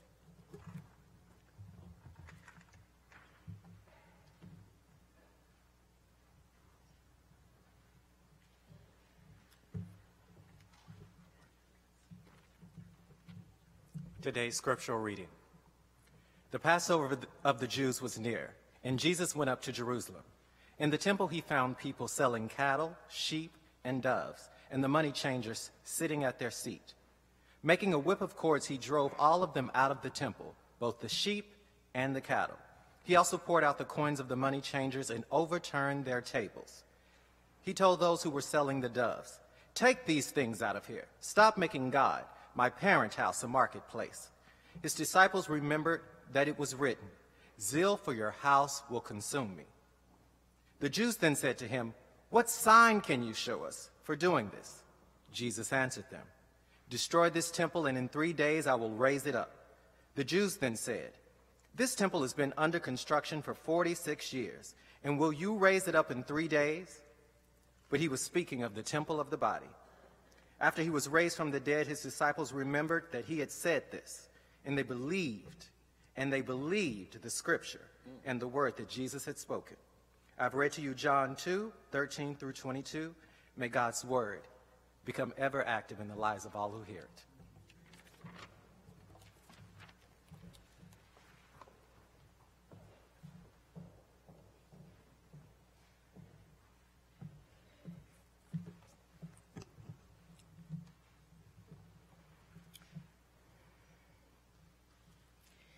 Great is thy faithfulness, O God, my Father. For there is no shadow of turning in thee. Thou changest not, thou compassions, they fail not. As thou hast been, thou forever wilt be. Summer and winter and springtime and harvest, sun, moon, and stars in their courses above. They join with all nature in manifold witness to thy great faithfulness, thy mercy and grace. And great is thy faithfulness. Great is thy faithfulness. Every time I wake up in the morning, new mercies I see. All I have needed, thy hands have provided. Great is thy faithfulness. Great is thy faithfulness. Great is thy faithfulness. O Lord,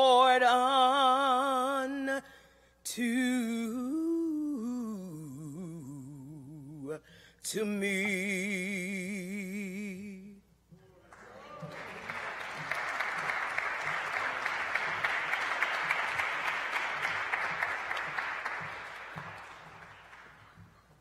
Lord, we thank you for your great faithfulness and we pray your blessings and faithfulness upon our endeavors. We know that whenever you choose men and women to do anything in your name, you take the risk of putting treasure in earthen vessels, flawed and failing, faithful and focused all at the same time. But you do it so that when that which is done is completed, the excellency of the power might be of thine and not of ours. So cover us and keep us. In your name we pray. Amen. So we have to pay attention to the scriptures, particularly when something shows up in all three of the synoptic gospels, Dr. Davy. Yeah, any good professor of homiletics would tell you that. If it shows up in all three of the synoptic gospels, and then on top of that, it shows up in John, it must be really important. must be really important. And so, as we hear Reverend Uzziah talks about the faithfulness of God, God had made a promise to Israel years and years and years and years and years ago. And in Jesus, that promise begins to come to fruition. But some people did not understand that what they that God's way would be the nonviolent way of the cross, at least as we understand it through the Gospels. What does faithfulness mean? What does holiness mean? What does following God mean? We all have our different experiences. Let me tell you mine. As I look at these three, these four texts, John, Mark, Luke, Matthew, that all talk about this day, that there was a turnover. Jesus came into the temple on the first moral Monday.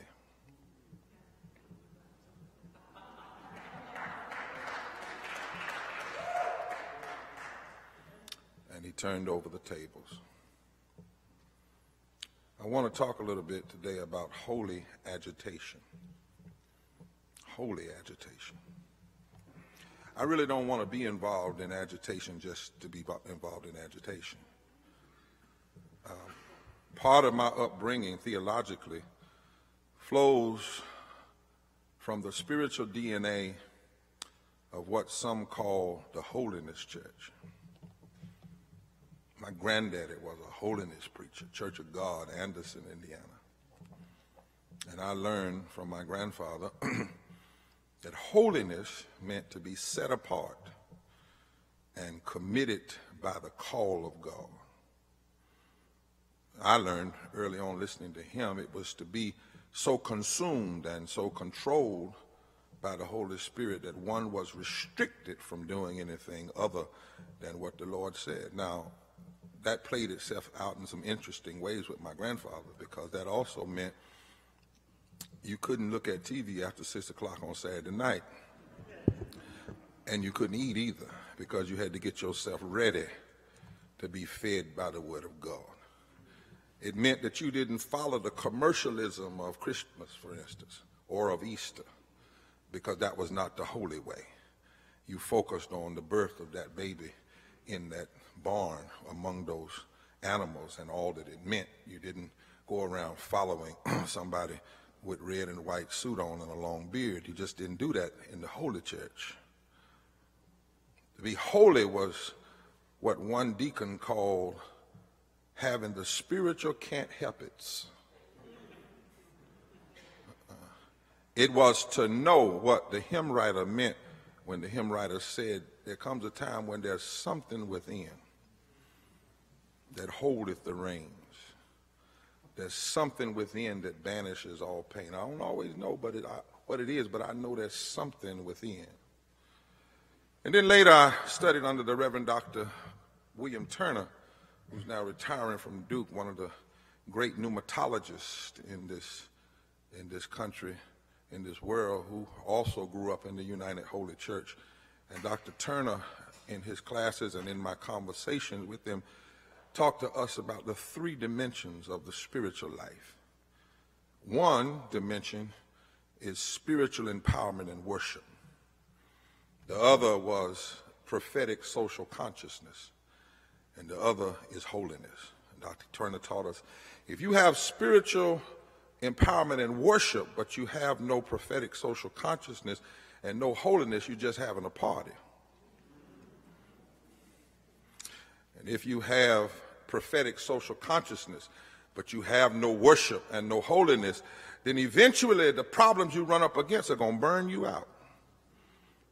And if you have spiritual empowerment and worship and no social consciousness and no holiness, then you'll get lost as to why you're really doing what you're doing. Holiness is a deep commitment in the way of God, no matter what.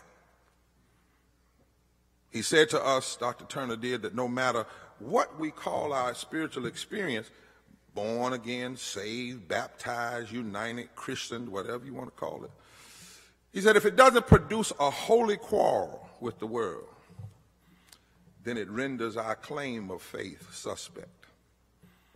Jesus, in his first sermon, defined the purpose of being set apart at the outset. He said, This anointing is not to put some kind of neon light on me to glow in with a halo around my head, say, He's anointed. No. He said, The Spirit of the Lord is upon me. For he hath anointed me to preach good news to poor. In other words, he was declaring that to be set apart by God's Spirit was to be engaged in the ministry of declaring good news to the ptochos, those who've been made poor by exploitation, to heal the brokenhearted, to render sight to the blind, to set the captives free, and to give liberty, freedom to those that have been bruised and battered, and to announce acceptance to the unacceptable. That's what Jesus said holiness was about. Colleen, he said it, first sermon.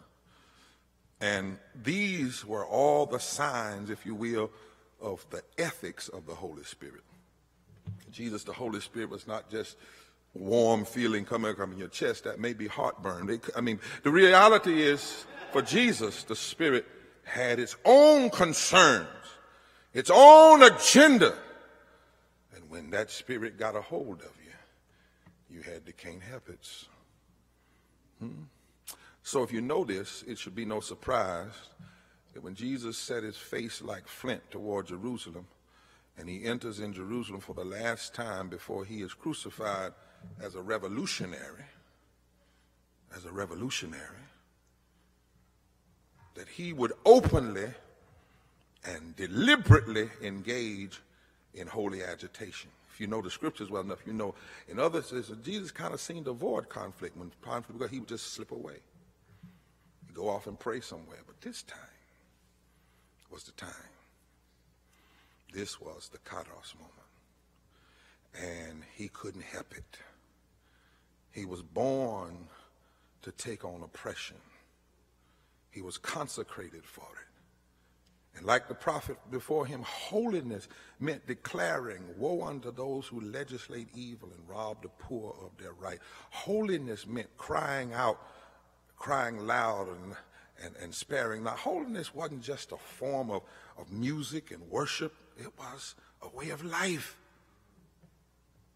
So no wonder when Jesus comes into the Jerusalem, he walks straight into the temple that has become unholy, deconsecrated, if you will, corrupted. And he sees an unholy alliance between the temple, the priest, and the policies of Caesar.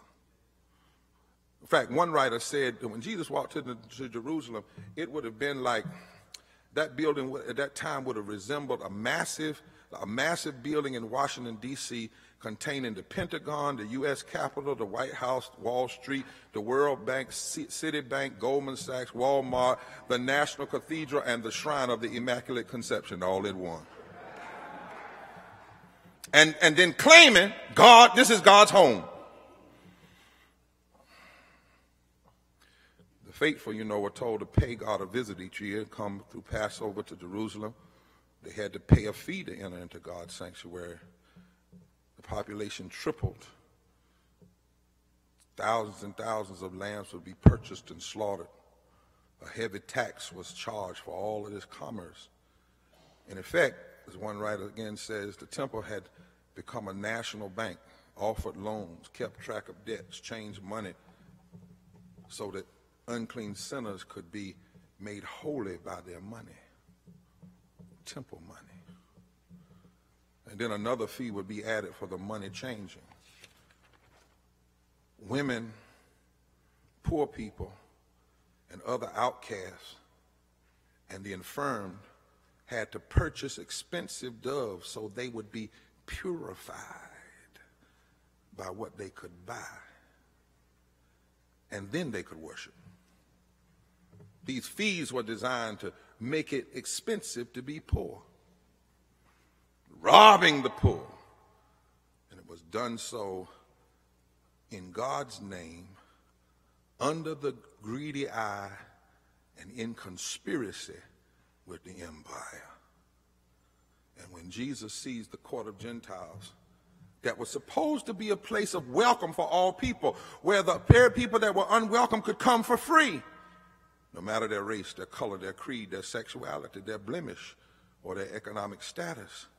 When he saw that, that the place meant for the poor had been turned into an economic trap for the poor. When he saw the poor being taken and cheated and exploited, and their exploitation being sanctioned by the priest and co signed by the politician, which each side receiving a kickback, Jesus had to engage in holy agitation. And by turning it over, did you hear that text from John? He turned it over, he ran out everything. It's clear that Jesus wasn't merely talking about lowering the prices.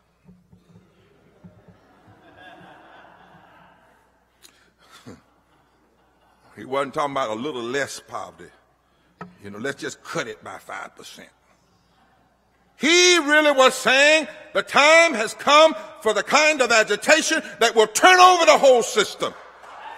And even if the system doesn't change, somebody ought to act like it ought to be changed. He announces to the people the same thing that Dr. King announced 50 years ago. His last sermon was supposed to be America will go to hell if she doesn't deal with this issue of race and systemic poverty and militarism. Jesus said the same thing. He said, the zeal for this house, in other words, the zeal for this system of greed will consume you. America or any other part of the world. The zeal for a kind of greedy capitalism that justifies justifies exploitation. The zeal for power. The zeal for believing you are somebody based on how you step on or deny other people. It will eventually consume, burn up, destroy. And so he turns over the table announcing, in essence, that every person you're exploiting are actually the focus of God. And he knew that the religionists that had chosen to be the puppets of the king and not the prophets of God wouldn't like it. But it was time. And you know, there comes a time that every institution that claims to be in the name of God, whether it's a seminary or a church, has to make some hard decisions. The union, the church I pastor, seminaries have to make hard decisions sometimes of whether we're going to be the puppets of the nation, the puppets of the politicians, or the prophets of God. See, see, see, can I do a little Sitz im Leben, you know, setting of the text? Jesus knew that Caesar's overseers were sitting up there in the balcony. Because you know, the system will assign its overseers to every institution that claims to be religious. You might not even know they're here. they're on your deacon board, they're on your trustee board, Lord help. And their, their purpose is to be here, and, and if things kind of get, you know, if union gets too close to the poor people's campaign, if pastor gets too far out there, they're watching for the system. Well, they were there, and, G, and they knew, and Jesus knew he knew they were watching to make sure that nothing was ever done to inspire the poor. Nothing was ever done to oppress, uh, uh, to challenge the oppression of the oppressors. He knew that his nonviolent act that challenged the oppression and the power of Rome would be told, run right back to Caesar, right back to Pilate. And it was set in motion plans for his own death. But it was time. Of course, his action and those teachings threatened and outraged the religious authority. Here he's challenging their economic and political systems that they have consecrated. If we do what he's talking about, we'll lose. And so they planned to kill him. He knew it, but it was time. And there are places in our lives when those of us who've been set apart by the Spirit have to know it's time. It's time for holy agitation. To follow Jesus today, we better know it's time. It's time for a way of life that challenges systemic poverty, systemic racism, ecological devastation, the war economy, militarism, and it's time to challenge this false heretical form of Christian nationalism because the zeal for those things are going to consume the nation unless we step up. It's time. In fact, it's past time. No longer can we stay safely inside of our services, our sanctuaries, and our schools.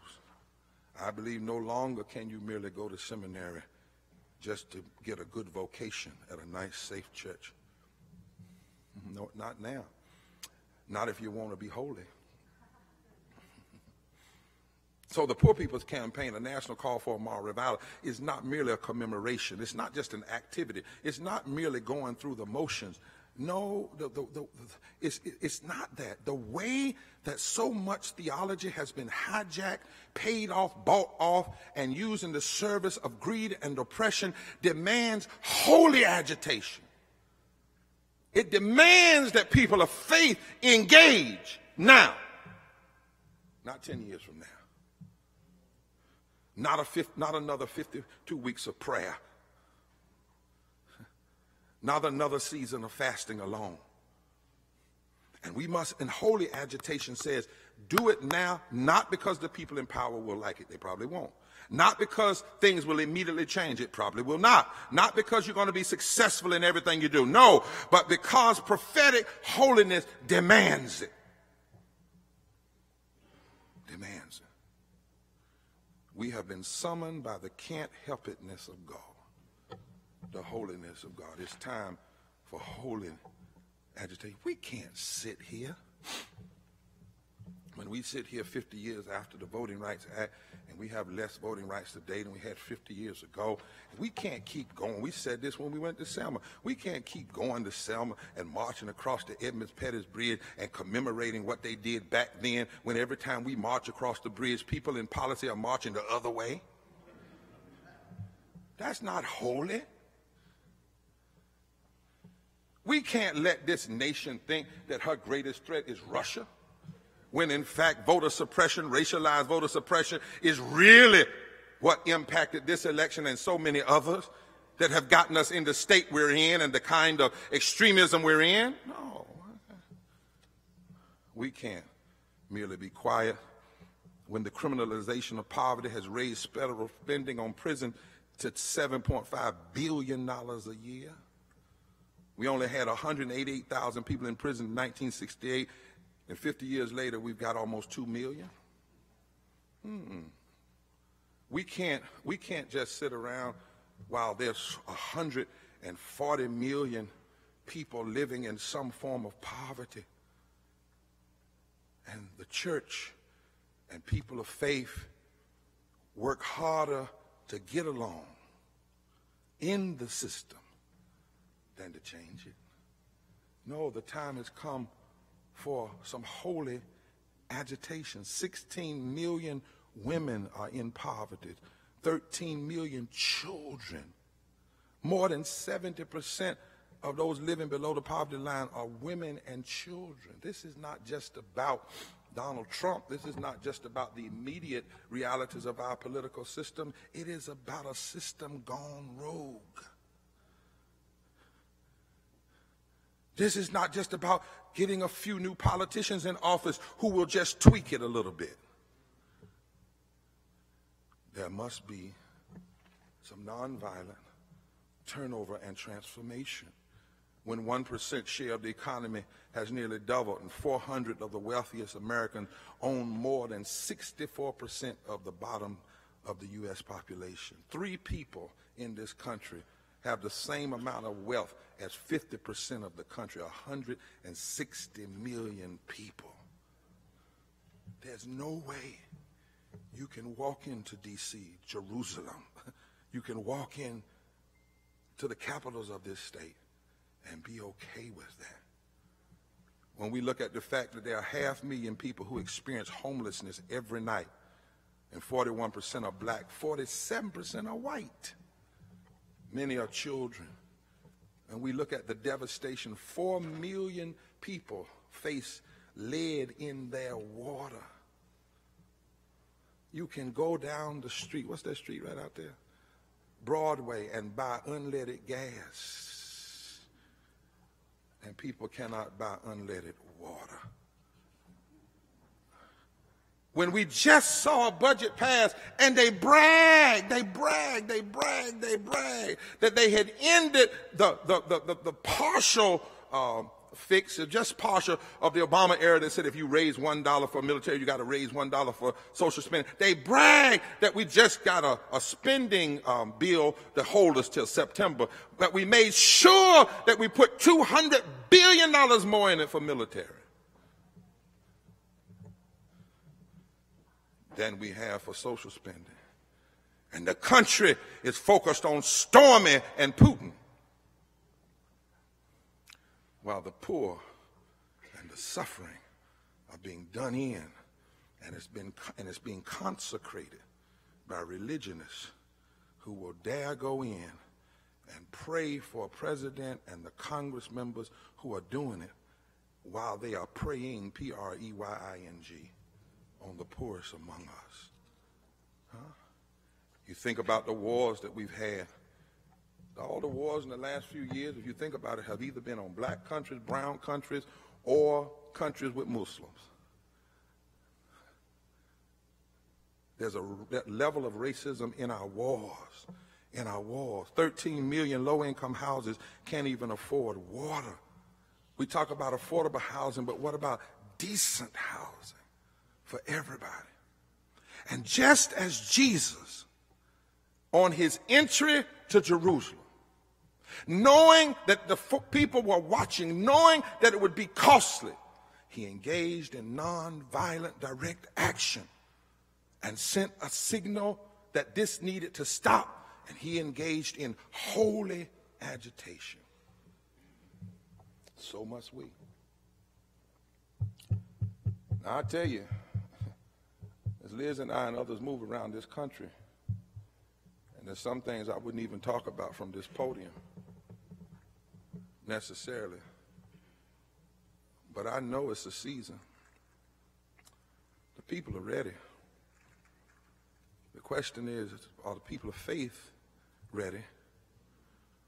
Or do we want to continue to have safe religion that the system will bless and the system might even tithe to every now and then if along with the tithing comes a promissory note, we will not protest. I don't know what it's going to cost,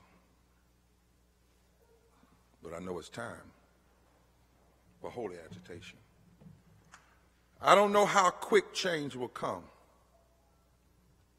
But I know if a young lady out in Washington who was homeless for 50 years can come to a Poor People's Campaign National Call for a Moral Revival mass meeting and say, I'm here tonight to announce I'm a redneck and I'm also the white trash that America put out but forgot to burn.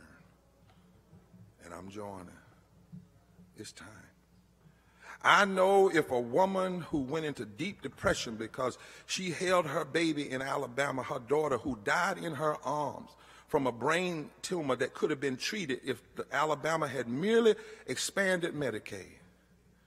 And I know if she can come up out of that depression and say, my baby didn't die in vain and I'm going to join the movement, I know it's time. I know if a mother will grab Liz's arms and walk into the middle of the Rio Grande River just so she can touch her husband and her child that she had not seen for 16 years. One on one side, one on the other side, and then come back and said, I'm in the movement. I know if we can get if we're getting invitations from West Virginia and Kentucky, we're not inviting ourselves, they're inviting us. I know if the students at Liberty University asked for one of us to come do a revival, and when they couldn't get a space on campus, they said, we'll get a space across the street. And already 2,000 people have signed up for young people. I know it's time. I know that when I hear young students talking about this is a moral crisis, refusal to ban assault weapons. I know it's time. I know it's time when sometimes in the middle of the night it seems like I can close my eyes and hear Fannie Lou. And my father.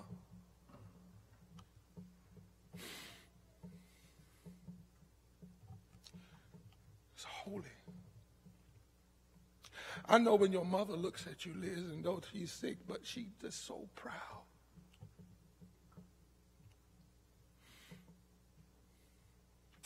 This time I, I don't know. But what I do know is like Jesus, we must dare to challenge. And we must not only challenge what he is, not only curse the darkness, but we must point a way to what ought to be. We must declare what must be, and we must not be afraid of holy agitation. In this season, in this holy week, let us decide that holiness is not something we should run from. Holiness should not be seen as those folk over there that speak in tongues and do strange things. But holiness is declaring that in this season we do need a new tongue. And we need some people who've had enough experience with the divine that they ain't afraid of no Caesar. And they're not afraid of any false prophets. And nonviolently, with love and truth, they are willing to dare to engage in holy agitation. Because that is the only hope, I believe, for this democracy and even for this world. Grant it, Lord, that you might use us for holy agitation in this kairos moment to repair the breaches of this world. Amen.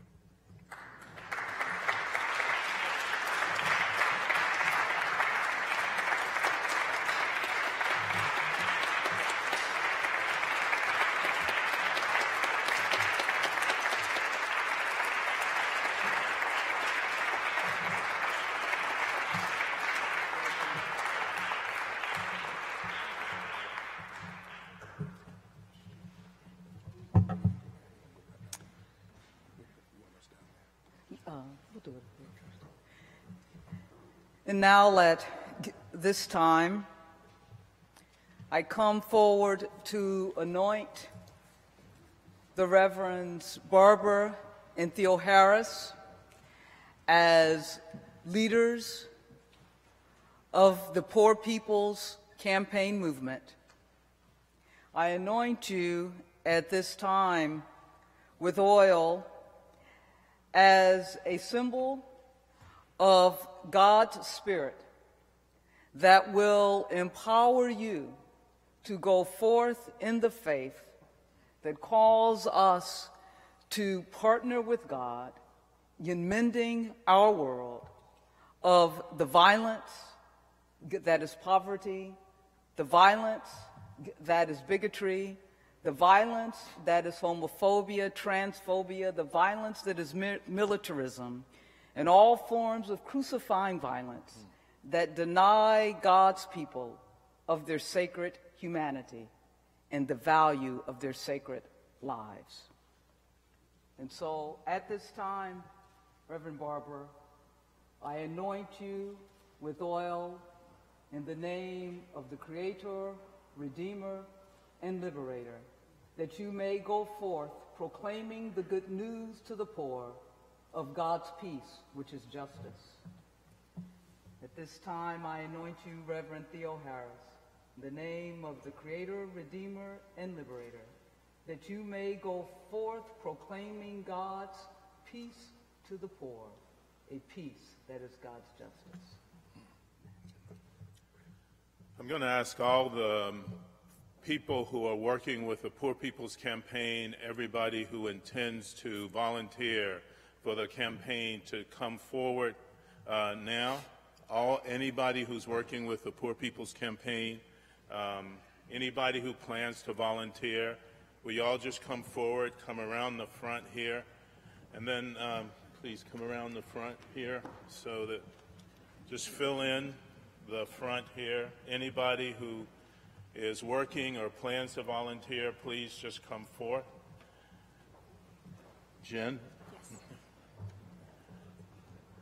And we're going to ask everybody just to lay a hand on somebody next to them uh, on the shoulder. Everybody should be appropriately touching somebody else. Amen. Holy. Holy, holy touching. Right. And then we're going to ask Jen Hagedorn, who is the co-chair of our Student Senate here, to start the commissioning, and I will end it with a prayer. God, on this day of holy agitation, this day of disruption and truth telling, we stand before you to commission Reverend Dr. William Barber, Reverend Dr. Liz Theoharis, and the many, many, many children of yours who are going to be carrying out the important work of the Poor People's Campaign. God, we thank you for their willingness to answer your call, a call that is not easy, a call that comes with sacrifice, a call that comes with danger. God, we thank you for their willingness to answer this call as so many prophets and leaders have in every generation before. We feel your spirit in this room, oh God. We feel how you are moving through us, and we feel that newness that is coming, that is just around the corner. We ask that you be with your people, be with those who are in this room, those who cannot make it to this room, those who will never make it to this room. We ask that you move through us to create your more perfect kingdom here on earth in this moment. Lord God, we know that you call us out to holy agitation. You call us out of ourselves. You call us out and set us apart in a world that is longing for your grace, a world that is longing for your love, a world that is longing for your truth and for your justice. In our community, Lord, are poor people and poor souls who need to experience your grace. In our nation, Lord, are poor people and poor souls who need to experience your love. In our world are poor people and poor souls who need to experience your truth. In our world are poor people and poor souls who need your divine justice. We are your people, Lord God, and you have called each, each of us out to be visible in this world to exhibit you in this world. As you work in the hearts and lives of Reverend Barber and Dr. Liz Theoharis, we ask that, that you would let your spirit keep them wholly agitated, keep them called out and set apart. Indeed, keep all gathered here, agitated and ready to speak a word of truth and love and justice and peace on behalf of those who are poor and who are poor in their souls. Let us support these, your disciples, your people, in every way as they answer the call to promote a campaign to keep the needs of the poor before an often cold-hearted and complacent nation. Strengthen them as they go out to answer this call that they might run this race and not grow weary, that they might walk the path of protest for justice and for economic equity and not grow faint. Support them and sustain them in all that they do, not only on this day, but now and for all the days to come. God bless them. God bless them all. Amen. Amen.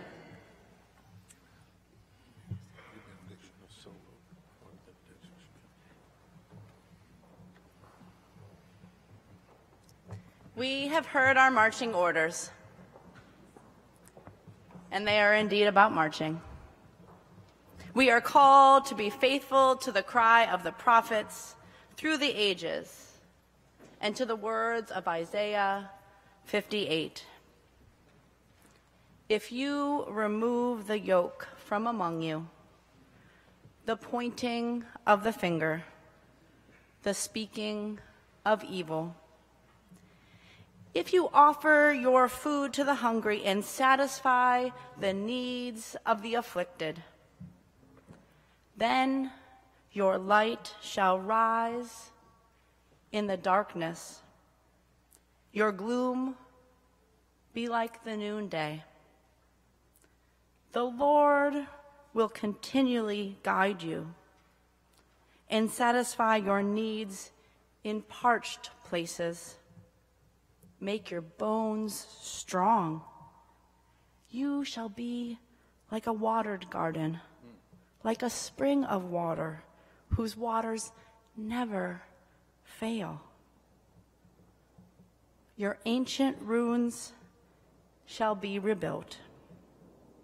You shall raise up the foundations of many generations.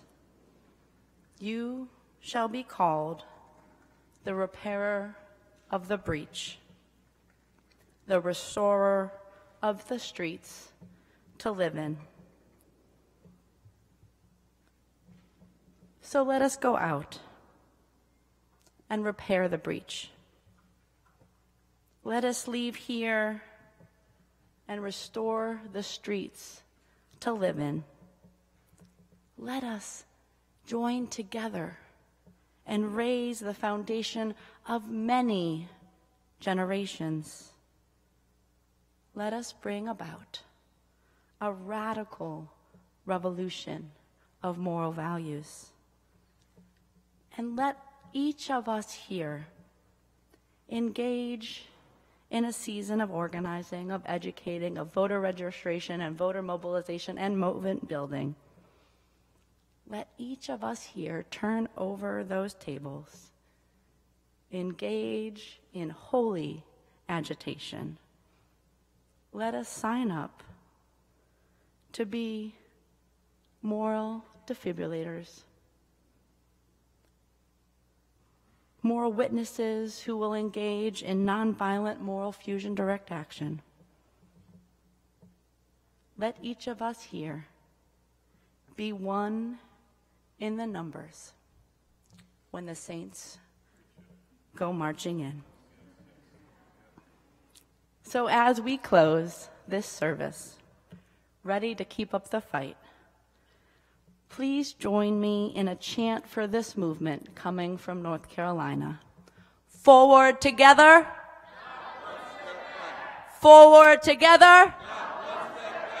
Forward together. Amen.